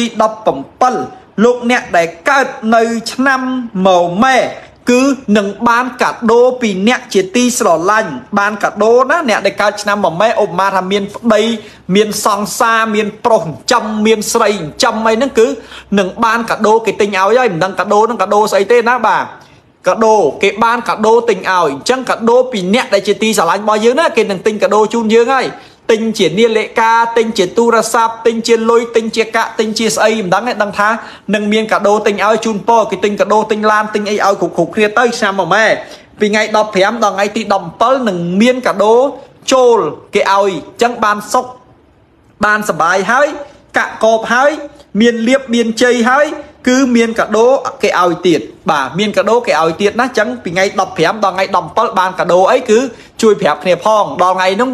គ្រូមហាជុំឡាយខមមិនលោកគ្រូមហាជុំទាយខ្ញុំត្រូវណាថាពីថ្ងៃ15ដល់ថ្ងៃ17មានកាដូឥឡូវបានកាដូមែនចឹងសូមឲ្យកាដូនេះគឺជាកាដូដែលឲ្យលោកអ្នកបាននៅសេចក្តីសុខសប្បាយរីកចម្រើនបានទាំងគេឈ្មោះបានទាំងគេតយុះរក្សានៅប្រពៃណីគំនាមទម្លាប់ណាបាទចឹងសូមជូនពរឲ្យបានកាក់កបលេខសំណាងណាបាទបើចង់បានដូចមាត់ប្រកាសដូចថាលេខសំណាងយើងមានលេខ700 59នាំលៀបនាំជ័យនាំសុកនាំចម្រើននាំកាក់នាំកបនាំល្អនាំភាពរីកចម្រើនដល់លោកអ្នកបាទលោកអ្នកដែលកើតឆ្នាំមួយម៉ែពីថ្ងៃទី23ដល់ថ្ងៃទី25សុខភាពមិនល្អទេថែរក្សាសុខភាពពូលេខត្រូវឈឺពីថ្ងៃទី23ដល់ថ្ងៃទី25លោកអ្នកដែលកើតឆ្នាំមួយម៉ែគឺឈឺចឹងបើលោកអ្នកដែលកើតឆ្នាំមួយម៉ែពីថ្ងៃទី23ដល់ថ្ងៃទី25គឺត្រូវថែរក្សាសុខភាព គឺត្រូវថែរក្សាសុខភាពឲ្យមែនតែនបើមិនថែរក្សាសុខភាពទេ គឺឈឺហើយបាទប្រយ័ត្នប្រយែងសុខភាពបន្តិចចន្លោះពីថ្ងៃទី23ដល់ថ្ងៃទី25គឺលោកអ្នកដែលកើតនៅឆ្នាំមួយម៉ែគឺឈឺបាទគឺឈឺហើយខ្ញុំមិនមែនមកដាក់ប្រដាសាដាក់ទំនាយឲ្យលោកអ្នកឈឺទេប៉ុន្តែជើងលេខគេប្រាប់ថាឈឺចឹងលោកអ្នកថែសុខភាពកុំឲ្យឈឺបើឈឺលេបថ្នាំទៅទិញថ្នាំលេបទៅជីហើយមិនខ្លួនឯងផ្ដាសាយអង្គុយផឹកតកក មិនខ្លួនឯងផ្ដាសាយអង្គុយផឹកកាហ្វេដាក់តកអានឹងមិនជាទេបាទចឹងលេបថ្នាំទៅតមទៅអីចឹងទៅពីថ្ងៃទី23ដល់ថ្ងៃទី25លោកអ្នកដែលកើតនៅឆ្នាំមួយម៉ែចុងខែ5ចូលមកលុយចូលម្ដងទៀតលោកអ្នកដែលកើតឆ្នាំមួយម៉ែចុងខែ5គឺមានលុយហូរចូលចុងខែ5លោកអ្នកដែលកើតឆ្នាំមួយម៉ែនឹងមានលុយហូរចូលណាបងប្អូនណាបាទ នឹងមានលុយហូរចូលហើយសួរខ្ញុំថាលុយលុយស្អីគេខ្ញុំមិនដឹងដែរបងប្អូនដឹងតែមានលុយហូរចូលអញ្ចឹងបងប្អូនដែលកើតឆ្នាំមួយម៉ែគឺចុងខែ5មានលៀបមានលុយហូរចូលហើយលុយនឹងបានមកពីណាលុយនឹងបានមកពីណាខ្ញុំអត់ដឹងដែរដឹងថាលុយនឹងគឺបានមកចុងខែ5គឺមានលុយឯណា ចុងខែអ្នកអត់លុយជាពាក់ធនាគារត្រូវហើយគ្រូមហាជុំទាយឲ្យថាមានលុយហូរចូលអញ្ចឹងជូនពរឲ្យបានកាក់កោសម្រាប់លោកអ្នកដែលកើតឆ្នាំមួយម៉ែអញ្ចឹងលោកអ្នកដែលកើតឆ្នាំមួយម៉ែលេខសំណាង759ពណ៌សំណាងពណ៌ត្រួយជែកបាទពណ៌សំណាងពណ៌ត្រួយជែកសំណាងគឺលេខ759 comment លេខ759 share វីដេអូ3ដងដាក់លេខ759ណាបងប្អូនណាមានលៀបមានជ័យ បាទអញ្ចឹងសូមបន្តទៀតដល់បងប្អូនកូនក្មួយដែលកើតឆ្នាំវោកឆ្នាំវោកលេខសំណាង311ពណ៌សំណាងពណ៌ស្វាយបាទឆ្នាំវោកលេខសំណាង311ពណ៌សំណាងពណ៌ស្វាយដើមខែឆ្នាំវោកចូលមកដល់ឈឺតម្រងឈឺតែម្ដងបាទចឹងថែសុខភាពលោកអ្នកកើតឆ្នាំវោកខ្ញុំសូមជម្រាបជូនថាដើមខែចូលមកឈឺហើយបាទឈឺហើយ អត់ជាទេដើមខែចូលមកឈឺហើយអញ្ចឹងត្រូវថែទាំសុខភាពឲ្យបានច្រើនតិចបើមិនថែទាំសុខភាពទេលោកអ្នកដែលកើតឆ្នាំវោកនឹងឈឺហើយបាទហើយបើឈឺអានឹងត្រូវប្រញាប់ព្យាបាលអត់ទុកទេតែទុកអាចឈឺខ្លាំងឈឺធ្ងន់ទៀតលេខឆ្នាំវោកឯដើមខែ5តែមិនថែសុខភាពទេគឺឈឺធ្ងន់ហើយបាទហើយបើឈឺធ្ងន់ណាអានឹងមានតែអតិពិសោភគវីហើយបើមិនថែខ្លួនបើមិន បើមិនមើលការខុសត្រូវទេអញ្ចឹងប្រយ័ត្នឈឺត្រូវប្រយ័ត្នមើលឈឺត្រូវប្រញាប់ព្យាបាលបើមិនអញ្ចឹងទេឈឺធ្ងន់ទេណាបាទពីថ្ងៃទីដើមខែនិងដើមខែ5នឹងតែម្ដងលោកអ្នកដែលកើតនៅឆ្នាំវោកនឹងដដែលបាទលោកអ្នកដែលកើតនៅឆ្នាំវោកដដែលបាទលោកអ្នកដែលកើតនៅឆ្នាំវោកដដែលពីថ្ងៃទី8ដល់ថ្ងៃទី11មានគេសងលុយមានគេសងលុយហ្នឹងជើងលេខគេថាមិនមែនសងទាំងអស់ទេមានគេសងលុយខ្លះ ពីថ្ងៃទី8ដល់ថ្ងៃទី11គឺមានគេសងលុយខ្លះបាទចឹងមានគេសងលុយខ្លះហ្នឹងមិនមែនសងទាំងអស់ទេគេជាពាក់1លានគេសង100000គេជាពាក់100000គេសង10000 20000 30000ដើម្បីឲ្យយើងបានខ្លះមកចឹងគេជាពាក់លុយគឺ គេសងមកខ្លះគឺយើងក៏សប្បាយចិត្តយើងក៏រីករាយចឹងទៅអត់មានបញ្ហាទេណាបងប្អូនណាបាទចឹងពីថ្ងៃទី8ដល់ថ្ងៃទី11លោកអ្នកដែលកើតឆ្នាំវោកគឺមានគេសងលុយខ្លះប៉ុន្តែសងលុយនឹងមិនដឹងសងអីទេគឺគេសងច្រើនណាគេសងមកខ្លះចឹងទៅយកមកចេះជាងអត់ពីថ្ងៃទី15ដល់ថ្ងៃទី18ពីថ្ងៃទី15ដល់ថ្ងៃទី18សម្រាប់លោកអ្នកដែលកើតនៅឆ្នាំវោក ពីថ្ងៃទី15ដល់ថ្ងៃទី18សម្រាប់លោកអ្នកដែលកើតឆ្នាំវោកគេថានឹងមានកិត្តិយសនឹងមានទទួលនៅគេហៅថាគ្រឿងអិសរយសកិត្តិយសបានសរសើរអីអញ្ចឹងទៅបាទអឺថ្ងៃទី15ដល់ថ្ងៃទី18សម្រាប់លោកអ្នកដែលកើតនៅឆ្នាំវោកគឺនឹងទទួលបានការកោតសរសើរពីថ្នាក់ជាតិ គេនឹងឲ្យបានសរសើរគេនឹងឲ្យគ្រឿងអិសរយសគេនឹងឲ្យស្អីណាសរសើរឡើងមុខឡើងមាត់ឡើងកិត្តិយសចឹងទៅហើយបងប្អូនសួរខ្ញុំថាលោកគ្រូថ្ងៃ15ដល់ថ្ងៃ18នេះខ្ញុំឆ្នាំវឹកត្រូវបានគេ មានបានសរសើរមានអីអីអញ្ចឹងអាហ្នឹងបានស៊ីអត់យីកិត្តិយសហ្នឹងធំជាងរបស់ស៊ីណាបាទបានកិត្តិយសខ្ពង់ខ្ពស់មុខមាត់តដល់កូនពូនដល់ចៅកាលណាតែមនុស្សមានមុខមាត់មានកិត្តិយសរឿងរោស៊ីទៅបានកាក់កបរោស៊ីទៅបានចំណេញបើយមនុស្សតែរាសីឡើងហើយគឺរោអីក៏បានដែរអញ្ចឹងបានអ្នកធំគេចង់គេធ្វើយកស្នាដៃគេជួយជាតិបានងារឡើងអុកញ៉ាគេជួយជាតិដល់បានគ្រឿងអីសារៈយសគេជួយជាតិត្រូវបានគេស្រឡាញ់គេពេញចិត្តអញ្ចឹងកាលណាតែយើងជួយជាតិទៅយើងបានងារខ្ពងខ្ពស់ទៅយីអូនយើងឡើងយើងរោស៊ីអីក៏បានកាក់កបដែរបងប្អូនណាបាទអញ្ចឹងអុកញ៉ាគេចូលលុយចូលកសាងជួយសង្គមជាតិអស់50ម៉ឺនដុល្លារបានបានព្រះមហាក្សត្រប្រទានងារអុកញ៉ាឲ្យចឹងកាលណាតែគេបានងារអុកញ៉ាហើយគឺគេរកស៊ីកាន់តែមានទៀតហើយដោយសារអីដោយសាររាសីគេឡើងពាក្យថាអុកញ៉ាមួយម៉ាត់ហ្នឹងបកូនណាណាអ្នកឡាយប្រហោះណានាយករដ្ឋមន្ត្រីអ្នកស្នើចឹងគឺបានគេទៅសើថ្នាក់ជាតិហើយណាសុំតូចនិយាយកាន់តែបែកឆ្ងាយសុំអភ័យទោសបងប្អូន បាទអញ្ចឹងណាលោកអ្នកដែលកើតឆ្នាំវោកពីថ្ងៃទី22ដល់ថ្ងៃទី25លោកអ្នកកើតឆ្នាំវោកត្រូវឆ្លោះគ្នាជាមួយប្តីបាទត្រូវឆ្លោះគ្នាជាមួយប្តីត្រូវឆ្លោះគ្នាជាមួយប្រពន្ធចឹងលោកអ្នកដែលកើតឆ្នាំវោកត្រូវឆ្លោះគ្នាជាមួយប្តីត្រូវឆ្លោះគ្នាជាមួយប្រពន្ធចាប់ពីថ្ងៃទី22ដល់ថ្ងៃទី25 ចឹងបើយើងដល់ថ្ងៃទី22ថ្ងៃទី25យើងកុំឆ្លោះមើលតែរយឆ្លោះប្តីយើងមាត់រឹងប្តីយើងខឹងប្តីយើងក្តៅក្រហាយយើងដើរចេញយើងកុំតបយើងកុំតយើងកុំទៅតវ៉ាជាមួយអាហ្នឹងយើងល្អមកវិញហើយបាទចឹងពីថ្ងៃទី22ដល់ថ្ងៃទី25ត្រូវឆ្លោះគ្នាជាមួយប្តីទៅឆ្លោះគ្នាជាមួយប្រពន្ធចឹងយើងអត់ធ្មត់ហើយឆ្នាំវោកចុងខែមានដំណឹងមិនល្អមានគេស្លាប់មានបងប្អូនទទួលមរណភាពឬដំណឹងអាក្រក់ចឹងគេថាចន្លោះពីថ្ងៃទី ចុងខែចុងខែ5លោកអ្នកកើតឆ្នាំវុកតាមជើងលេខគេថានឹងមានអ្នកទទួលមរណភាព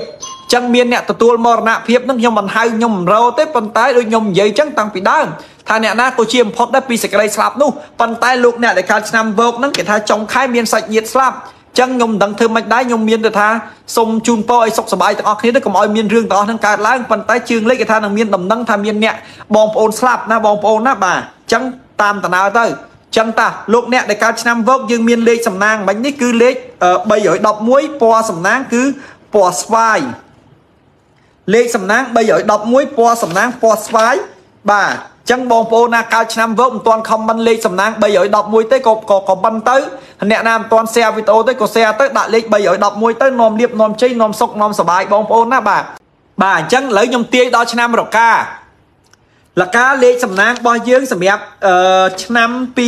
ខែ5នេះគឺអ្នកលកាលេខ432ពណ៌សំណាងសម្រាប់លោកអ្នកដែលកើតឆ្នាំរកាបាទពណ៌សំណាងសម្រាប់លោកអ្នកដែលកើតឆ្នាំរកាគឺពណ៌ស្លាទុំចឹងលោកអ្នកដែលកើតឆ្នាំរកាសូមលោកអ្នកខមមិននៅលេខ432 លេខសំណាងគឺលេខ432ពណ៌សំណាងគឺពណ៌ស្លាទុំបាទចឹងលោកអ្នកដែលកើតឆ្នាំលកាសូមខមមិនលេខ432ហើយពណ៌សំណាងគឺពណ៌ស្លាទុំបងប្អូនណាបាទបងប្អូនណាមិនដែលស្គាល់ពណ៌ស្លាទុំអាហ្នឹងទៅទិញស្លាទុំមើលទៅដឹងហើយឲ្យខ្ញុំពិបាកនិយាយបាទអញ្ចឹងលកាលេខសំណាង432ពណ៌សំណាងពណ៌ស្លាទុំដើមខែមានលៀបតាមរយៈការជួលរបស់ឬមួយក៏លក់របស់បាទអញ្ចឹងមានលៀបលៀបដោយសារអីលៀបដោយសារជួលរបស់ អូម៉ាថាយើងមានផ្ទះចូលមានផ្ទះយូរហើយជួលអត់បាន មានដីយូរហើយជួលអត់បាន មានរបស់យូរហើយលក់អត់បាន គឺដើមខែចូលមកយើងមានលៀបមានជ័យចូលមានគេហៅថារបស់ទ្របយើងលក់ទិញលក់ចេញទិញចូលបានហើយបាទអញ្ចឹងលោកអ្នកដែលកើតឆ្នាំលកាដើមខែនឹងនឹងមានលៀបតាមរយៈការលក់ជួលរបស់ដែលយើងចង់លក់ចង់ជួលលក់ជួលយួយបណ្ដាច់ ដើមខែចូលមកជួលលក់ដាច់ហើយណាបាទដើមខែចូលមកជួលជួលលក់ដាច់ហើយឆ្នាំលកាអញ្ចឹងសូមជូនពរឲ្យបានជោគជ័យឲ្យបានកាក់កបឲ្យបានរីកចម្រើនចឹងដើមខែចូលមកលោកអ្នកនឹងជួលរបស់ដាច់ឬមួយនឹងលក់របស់ដាច់បានលុយបានកាក់មកហើយលែងរាំងស្ទះទៀតហើយអ្នកកើតឆ្នាំលកាណាបាទហើយបន្ទាប់មកទៀតអ្នកកើតឆ្នាំលកាពីថ្ងៃទី8ដល់ថ្ងៃទី11លោកអ្នកហត់ណាស់ហត់ទាំងចិត្តហត់ទាំងកាយបាទ ហត់ចិត្តហត់កាយហត់ចិត្តនឹងពិបាកចិត្តគេមិនយល់ចិត្តដល់ពេលហត់កាយនឹងបែរថាហត់ការងារឲ្យគេមិនយល់ចិត្តទៀតចឹងត្រូវតាំងចិត្តឲ្យសុបាយឲ្យរីករាយធ្វើការតាមស្រួលណាមិនឲ្យតម្លៃយើងយើងឲ្យតម្លៃខ្លួនយើងណាបាទហើយបើអ្នកណាមិនឲ្យតម្លៃកូនចាំឪឲ្យតម្លៃកូនលោកគ្រូឲ្យតម្លៃកូនគ្រប់គ្នាចឹងអ្នកកើតឆ្នាំលកាពីថ្ងៃទី8ដល់ថ្ងៃទី11ហត់ចិត្តហត់កាយធ្វើអ្វីក៏គេមើលមិនឃើញដែរពីគុណពីស្រ័យរបស់យើងគេមើលមិនឃើញទេបាទ ពីថ្ងៃទី15ពីថ្ងៃទី10ពីថ្ងៃទី15ដល់ថ្ងៃទី18អ្នកកើតឆ្នាំលកាប្រយ័ត្នចាញ់បោកគេប្រយ័ត្នគេមកប្រើពាក្យសម្ដីផ្អែមប្រយ័ត្នគេមកលួងលោមប្រយ័ត្នគេមកនាំខ្ចីលុយប្រយ័ត្ននាំធ្វើអីមួយគឺប្រយ័ត្នប្រយ័ត្នទិញរបស់តាមអនឡាញវេលុយឲ្យគេគេប្លុកចោលប្រយ័ត្នណាបាទចឹងពីថ្ងៃ15ដល់ថ្ងៃទី18សម្រាប់លោកអ្នកដែលកើតនៅឆ្នាំរកាប្រយ័ត្នចាញ់បោកគេ បើមានអ្នកណាមកដាក់ទុនរោគស៊ីបើមានអ្នកណាមកប្រវល់ធ្វើអីមួយគឺត្រូវប្រយ័ត្នប្រយែងប្រយ័ត្នចាញ់បោកគេពីថ្ងៃ15ដល់ថ្ងៃទី18ណាបងប្អូនណាបាទពីថ្ងៃទី22ដល់ថ្ងៃទី25អ្នកកើតឆ្នាំលកាបថែសុខភាពព្រោះឈឺធ្ងន់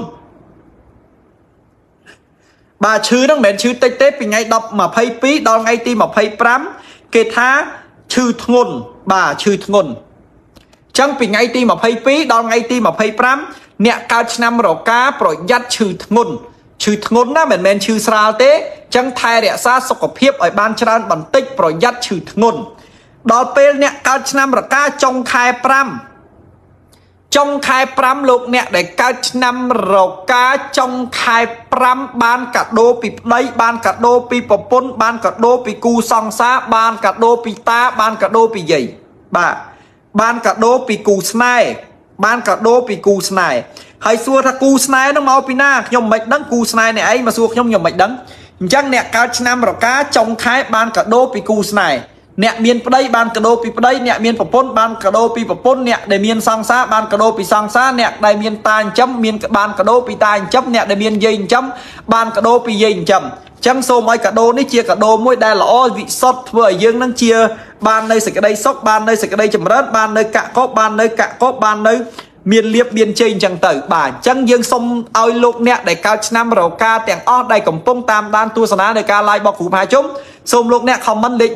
432ហើយពណ៌សំណាងរបស់យើងគឺពណ៌ស្លាទុំជូនពរឲ្យបានកកបឲ្យបានរីកចម្រើនឲ្យបានជោគជ័យឲ្យបានហេងហេងឲ្យបានដោយបំណងបងពងប្រាថ្នារបស់លោកអ្នកទៅបាទចឹងឥឡូវនេះខ្ញុំសូមបន្តទួទាយជាបន្តទៀតដល់លោកអ្នកដែលកើតនៅឆ្នាំច ឆ្នាំចលេខសំណាង479ពណ៌សំណាងពណ៌ស៊ីលៀបបាទចឹងលោកអ្នកដែលកើតឆ្នាំចសូមខមមិនលេខសំណាងទៅលេខ479ពណ៌សំណាងពណ៌ស៊ីលៀបដើមខែលោកអ្នកដែលកើតឆ្នាំចគឺត្រូវមានរឿងឆ្លោះប្រកែកគ្នាជាមួយប្តីប្រពន្ធជាមួយគូសង្សារចឹងបើសិនជាលោកអ្នកដែលកំពុងតាមដានទស្សនាហើយបើដឹងតែខ្លួនឯងកើតឆ្នាំចហើយគឺត្រូវតែប្រយ័ត្នប្រយែងសុខភាពបន្តិច បើមិនប្រយ័ត្នសុខភាពទេ គឺនឹងឆ្លោះគ្នាជាមួយនឹងគូស្នេហ៍ហើយនឹងឆ្លោះគ្នាជាមួយប្តីប្រពន្ធនេះអញ្ចឹងអត់ធ្មត់ឲ្យបានហើយបើមិនអត់ធ្មត់ទេគឺត្រូវឆ្លោះគ្នាហើយបងប្អូនណាបាទហើយតែឆ្លោះគ្នាហើយវាមិនដែរខាតទេតើវាមិនដែរចំណេញទេគឺវាខាតឆ្លោះគ្នាហើយត្រូវគ្នាវិញមិនដែរកុំឆ្លោះហើយបើឆ្លោះគ្នាហើយគឺលែងគ្នាទៅនិយាយចឹងហ្មងឆាប់ចប់ព្រោះលេខឆ្នាំចហ្នឹងខ្ញុំមើលទៅរឿងឆ្លោះគ្នាញឹកបន្តិចលេខឆ្លោះគ្នាញឹកបន្តិចព្រោះឥឡូវនេះទៅត្រូវគ្នាវិញទេ ហើយបន្តិចទៀតវវឆ្លោះគ្នាទៀតតែឆ្លោះគ្នាទៀតអត់បានទេណាប្រាប់ឲ្យហើយណាហាមឆ្លោះគ្នាដើមខែហ្នឹងប៉ុន្តែលេខគេថាឆ្លោះគ្នាប៉ុន្តែយើងកុំឆ្លោះគ្នាណាយើងកុំឆ្លោះគ្នា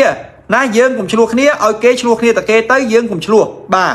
ហើយលោកអ្នកដែលកើតឆ្នាំចដដែលថ្ងៃ7ដល់ថ្ងៃ10មានលៀបមានជ័យចូលលោកអ្នកដែលកើតឆ្នាំចពីថ្ងៃទី7ដល់ថ្ងៃទី10មានលៀបចូល បាយថាយើងធ្វើអីយើងបានលៀបបានសំណាងយើងធ្វើអីយើងបានលុយបានកាក់ហូរចូលអញ្ចឹងពីថ្ងៃទី7ដល់ថ្ងៃទី10លោកអ្នកដែលកើតឆ្នាំចនឹងមានលៀបចូលហើយបាទ លៀបនឹងមកពីណាខ្ញុំមិនដឹងទេអ្នកធ្វើការអីបានលៀបនោះអ្នកធ្វើអីបានជោគបានជ័យលៀបចូលធ្វើអីបានកាក់កបធ្វើអីបានរីកចម្រើនណាបាទអញ្ចឹងពីថ្ងៃទី7ដល់ថ្ងៃទី10លោកអ្នកដែលកើតនៅឆ្នាំចគឺនឹងមានលៀបគឺនឹងមានជ័យហូរចូលណាចាំមើលមើលថាពីថ្ងៃ7ដល់ថ្ងៃ10ហ្នឹងមានលៀបស្អីហូរចូលចាំមើលទាំងអស់គ្នាយើងនឹងបានអ្វីបានកកបអ្វីបានដោយបំណងយោនស៊ីយ៉ាត្រូវណាលោកគ្រូខែ4លោកគ្រូបានថាបានកាដូឥឡូវបានមែនខ្ញុំឆ្នាំរកាបាទ អឺលីនដាគាត់ថាលោកគ្រូនិយាយត្រូវណាស់មិនទាន់ដល់ខែផងឥឡូវឆ្លោះគ្នាបាត់ហើយឈប់ឆ្លោះគ្នាតែដើមខែឆ្លោះគ្នាឲ្យលេងគ្នាណាលីនដាណាឯងខ្ញុំចោដែរអីហ្នឹងកូនបាទចឹងតាស់ពីថ្ងៃ14ពីថ្ងៃទី14ដល់ថ្ងៃទី18សម្រាប់លោកអ្នកបាទពីថ្ងៃទី14ដល់ថ្ងៃទី18សម្រាប់លោកអ្នកដែលកើតនៅឆ្នាំចគឺមានអារម្មណ៍ពិបាកចិត្តណាស់បាទពិបាកចិត្តណាស់លោកអើយលោកពិបាកចិត្ត ពិបាកនឹងរឿងអីពិបាកសពគ្រប់ត្មងរឿងអីក៏ពិបាកដែររឿងអីក៏កើតទុកដែរគឺមិនសូវមានអ្នកយល់ចិត្តគឺមិនសូវមានអ្នកគេឲ្យតម្លៃគេមើងងាយដោយសារយើងមិនសូវមានលុយយើងក្រអញ្ចឹងគឺគេមើងងាយមើលថោកយើងហើយបងប្អូនណាបាទអញ្ចឹងពីថ្ងៃទីអឺពីថ្ងៃទី14ដល់ថ្ងៃទីអឺ18គឺនឹងមានគេមើងងាយយើងហើយបងប្អូន អ្នកកើតឆ្នាំចត្រៀមគេមើងងាយអ្នកលេខគេថាគេមើងងាយពីថ្ងៃទី14អពីថ្ងៃទី14ដល់ថ្ងៃទី18គឺមានគេមើងងាយហើយចាអាណាមើងងាយអីមើលទៅយើងកុំខ្វល់ណាយើងក្រគេមើងងាយហើយអញ្ចឹងយើងប្រឹងរកស៊ីឲ្យមានទៅគេលែងមើងងាយហើយអញ្ចឹងឆ្នាំចពីថ្ងៃ14ដល់ថ្ងៃទី18ត្រូវគេមើងងាយត្រូវគេចរណែនត្រូវគេនិន្ទាត្រូវគេធ្វើបាបយើងណាអញ្ចឹងឥឡូវធ្វើមិនធ្វើទៅកុំឲ្យគេមើងងាយកុំខ្វល់កាលណាគេមើងងាយយើងយើងអត់ឈឺចិត្តគេឈប់មើងងាយយើងហើយបាទ ពីថ្ងៃទី22ដល់ថ្ងៃទី25ពីថ្ងៃទី22ដល់ថ្ងៃទី25អ្នកដែលកើតឆ្នាំចនឹងទិញរបស់បានណាបាទពីថ្ងៃទី22ដល់ថ្ងៃទី25លោកអ្នកដែលកើតឆ្នាំចនឹងទិញរបស់បានលោកអ្នកកើតឆ្នាំចទិញរបស់បានណាបាទបាទលោកអ្នកកើតឆ្នាំចនឹងមាននឹងទិញរបស់បានពីថ្ងៃទី22ដល់ថ្ងៃទី25 ចឹងពីថ្ងៃទី22ដល់ថ្ងៃទី25លោកអ្នកកើតឆ្នាំចទិញរបស់បានពីថ្ងៃទីអឺចុងខែមានគេលៀបពណ៌ចុងខែមានគេលៀបពណ៌ណាបាទចុងខែលោកអ្នកដែលកើតឆ្នាំចគឺត្រូវមានគេលៀបពណ៌ចឹងចុងខែ5អ្នកកើតឆ្នាំចគឺមានគេលៀបពណ៌គឺមានគេចំណែននិន្ទាឈ្នានេះ គឺមានគេលៀបពណ៌មកលើយើងហើយចឹងយើងដែលកើតឆ្នាំចគឺនឹងមានគេលៀបពណ៌ហើយនឹងមានគេចំណែននិន្ទាឈ្នានេះយើងហើយគឺនឹងមានគេចំណែនលៀបពណ៌យើងចឹងសួរវាឲ្យវាលៀបពណ៌មិនទៅគ្រូម៉ាជុំយើងប្រយ័ត្នយើងធ្វើអីកុំឲ្យខុសព្រោះកាលណាមានគេលៀបពណ៌មានគេចាប់កំហុសមានគេចំណែនចឹងយើងធ្វើអីកុំឲ្យគេចាប់ពណ៌លាបពណ៌យើងបាទណាបាទចុងខែមានគេលាបពណ៌ណាអ្នកដែលកើតឆ្នាំកុលបាទ អ្នកដែលកើតឆ្នាំចច្រឡំនេះដល់កុលណាបាទអ្នកដែលកើតឆ្នាំឆ្នាំឆ្នាំឆ្នាំចហ្នឹងណាគឺត្រូវគេមានគេលាបពណ៌ហើយអញ្ចឹងកុំឲ្យគេលាបពណ៌យើងកុំខ្វល់អាណាវាលាបពណ៌អីលាបទៅប៉ុន្តែប្រយ័ត្នប្រយែងខ្លួនយើងផងព្រោះលេខយើងកាលណាតែមានគេចាំចាប់ប្រណាំហើយគឺយើងត្រូវតែប្រយ័ត្នប្រយែងតិចទៅកុំឲ្យគេលាបពណ៌លាបអីយើងទៀតណា បើគេចង់លាបឲ្យគេលាបទៅប៉ុន្តែយើងត្រូវតែប្រយ័ត្នខ្លួនយើងផងធ្វើអីកុំឲ្យមានគេហៅថាអឺចំណុចខ្សោយឲ្យគេលាបពណ៌យើងណាបងប្អូនណាបាទអញ្ចឹងឥឡូវនេះខ្ញុំសុំបន្តទៀតដល់ឆ្នាំកុលឆ្នាំកុលលេខសំណាងគឺលេខ811ពណ៌សំណាងពណ៌កគីហើយមិញសុំបកក្រោយបន្តិចលោកអ្នកដែលកើតនៅឆ្នាំអឺចូលមិញនេះលេខសំណាងលេខ479ពណ៌សំណាងពណ៌ស៊ីលៀប លេខសំណាង479ពណ៌សំណាងពណ៌ស៊ីលៀបឥឡូវចូលដល់ឆ្នាំកុលឆ្នាំកុលលេខសំណាង811ពណ៌សំណាងពណ៌កគីកូនចៅដែលកើតឆ្នាំកុលសូមខមមិនលេខ811ហើយដាក់ពណ៌សំណាងគឺពណ៌កគីលោកអ្នកដែលកើតឆ្នាំចអូលោកអ្នកដែលកើតឆ្នាំកុលបាទលោកអ្នកដែលកើតឆ្នាំកុលដើមខែចូលមកបាទលោកអ្នកដែលកើតឆ្នាំកុលដើមខែចូលចូលមកមានរឿងខកចិត្ត មានរឿងខកចិត្តបាទដើមខែចូលមកអ្នកកើតឆ្នាំកុលគឺខកចិត្តមកសួរថាខកចិត្តរឿងអីរឿងដែលរំពឹងវាមិនដូចការពិត ថាខែ5នឹងបានលុយវាអត់បានលុយខែ5នឹងមានលៀបចូលវាអត់លៀបខែ5នឹងលក់ដីដាច់វាអត់បាន ខែ5គេសងលុយគេអត់សងខែ5នឹងថាបានទៅអាមេរិកវាអត់បានវាចេះតែមានរឿងកើតឡើងវាចេះតែមានរឿងមិនល្អកើតឡើងចឹងបាទ ចឹងលោកអ្នកនឹងមានរឿងដែលមិនដូចចិត្តអញ្ចឹងដើមខែខកចិត្តហើយឆ្នាំកុលពីថ្ងៃទី8ដល់ថ្ងៃទី11បាទលោកអ្នកដែលកើតឆ្នាំកុលនឹងគឺពីថ្ងៃទី8ដល់ថ្ងៃទី11លោកអ្នកមានលៀបចូលលោកអ្នកមានលៀបចូលណាលោកអ្នកកើតឆ្នាំកុលណាបាទពីថ្ងៃទី10 ពីថ្ងៃ8ដល់ថ្ងៃទី11គឺមានលៀបចូល8ដល់11គឺមានលៀបចូលសួរថាលៀបនឹងលៀបអីគេខ្ញុំអត់ដឹងទេប៉ុន្តែតាមជើងលេខគេថាពីថ្ងៃ8ដល់ថ្ងៃ11មានលៀបចូលហើយសួរលៀបនឹងលៀបអីគេខ្ញុំអត់ដឹងប៉ុន្តែដឹងថាមានលៀបចូលចឹងលៀបនេះគឺជាលៀបនាំសំណាងនាំជោគនាំជ័យនាំសេរីសួស្តីឲ្យយើងរស់ស៊ីមានបានកាក់កបពីថ្ងៃ15ដល់ថ្ងៃទី18គឺលោកអ្នកប្រយ័ត្នបាត់របស់បាទ ពីថ្ងៃទី15ដល់ថ្ងៃទី18លោកអ្នកប្រយ័ត្នបាត់របស់បាទប្រយ័ត្នបាត់របស់ណាបាទប្រយ័ត្នបាត់របស់ពីថ្ងៃទី15ដល់ថ្ងៃទី18ប្រយ័ត្នបាត់របស់ឆ្នាំកុលពីថ្ងៃទី22ដល់ថ្ងៃទី25កុំដើរឆ្ងាយតែដើរឆ្ងាយមានរឿងតែដើរឆ្ងាយមានរឿងខាតបងទ្របពីថ្ងៃទី22ដល់ថ្ងៃទី25ចន្លោះហ្នឹងកុំដើរឆ្ងាយតែដើរឆ្ងាយខាតបងទ្របទេណាបងប្អូនណាបាទ តែដើរឆ្ងាយខាតបងទ្របឲ្យអត់ល្អទេណាតែដើរឆ្ងាយខាតបងទ្របគឺមិនល្អទេចុងខែលោកអ្នកកើតឆ្នាំកុល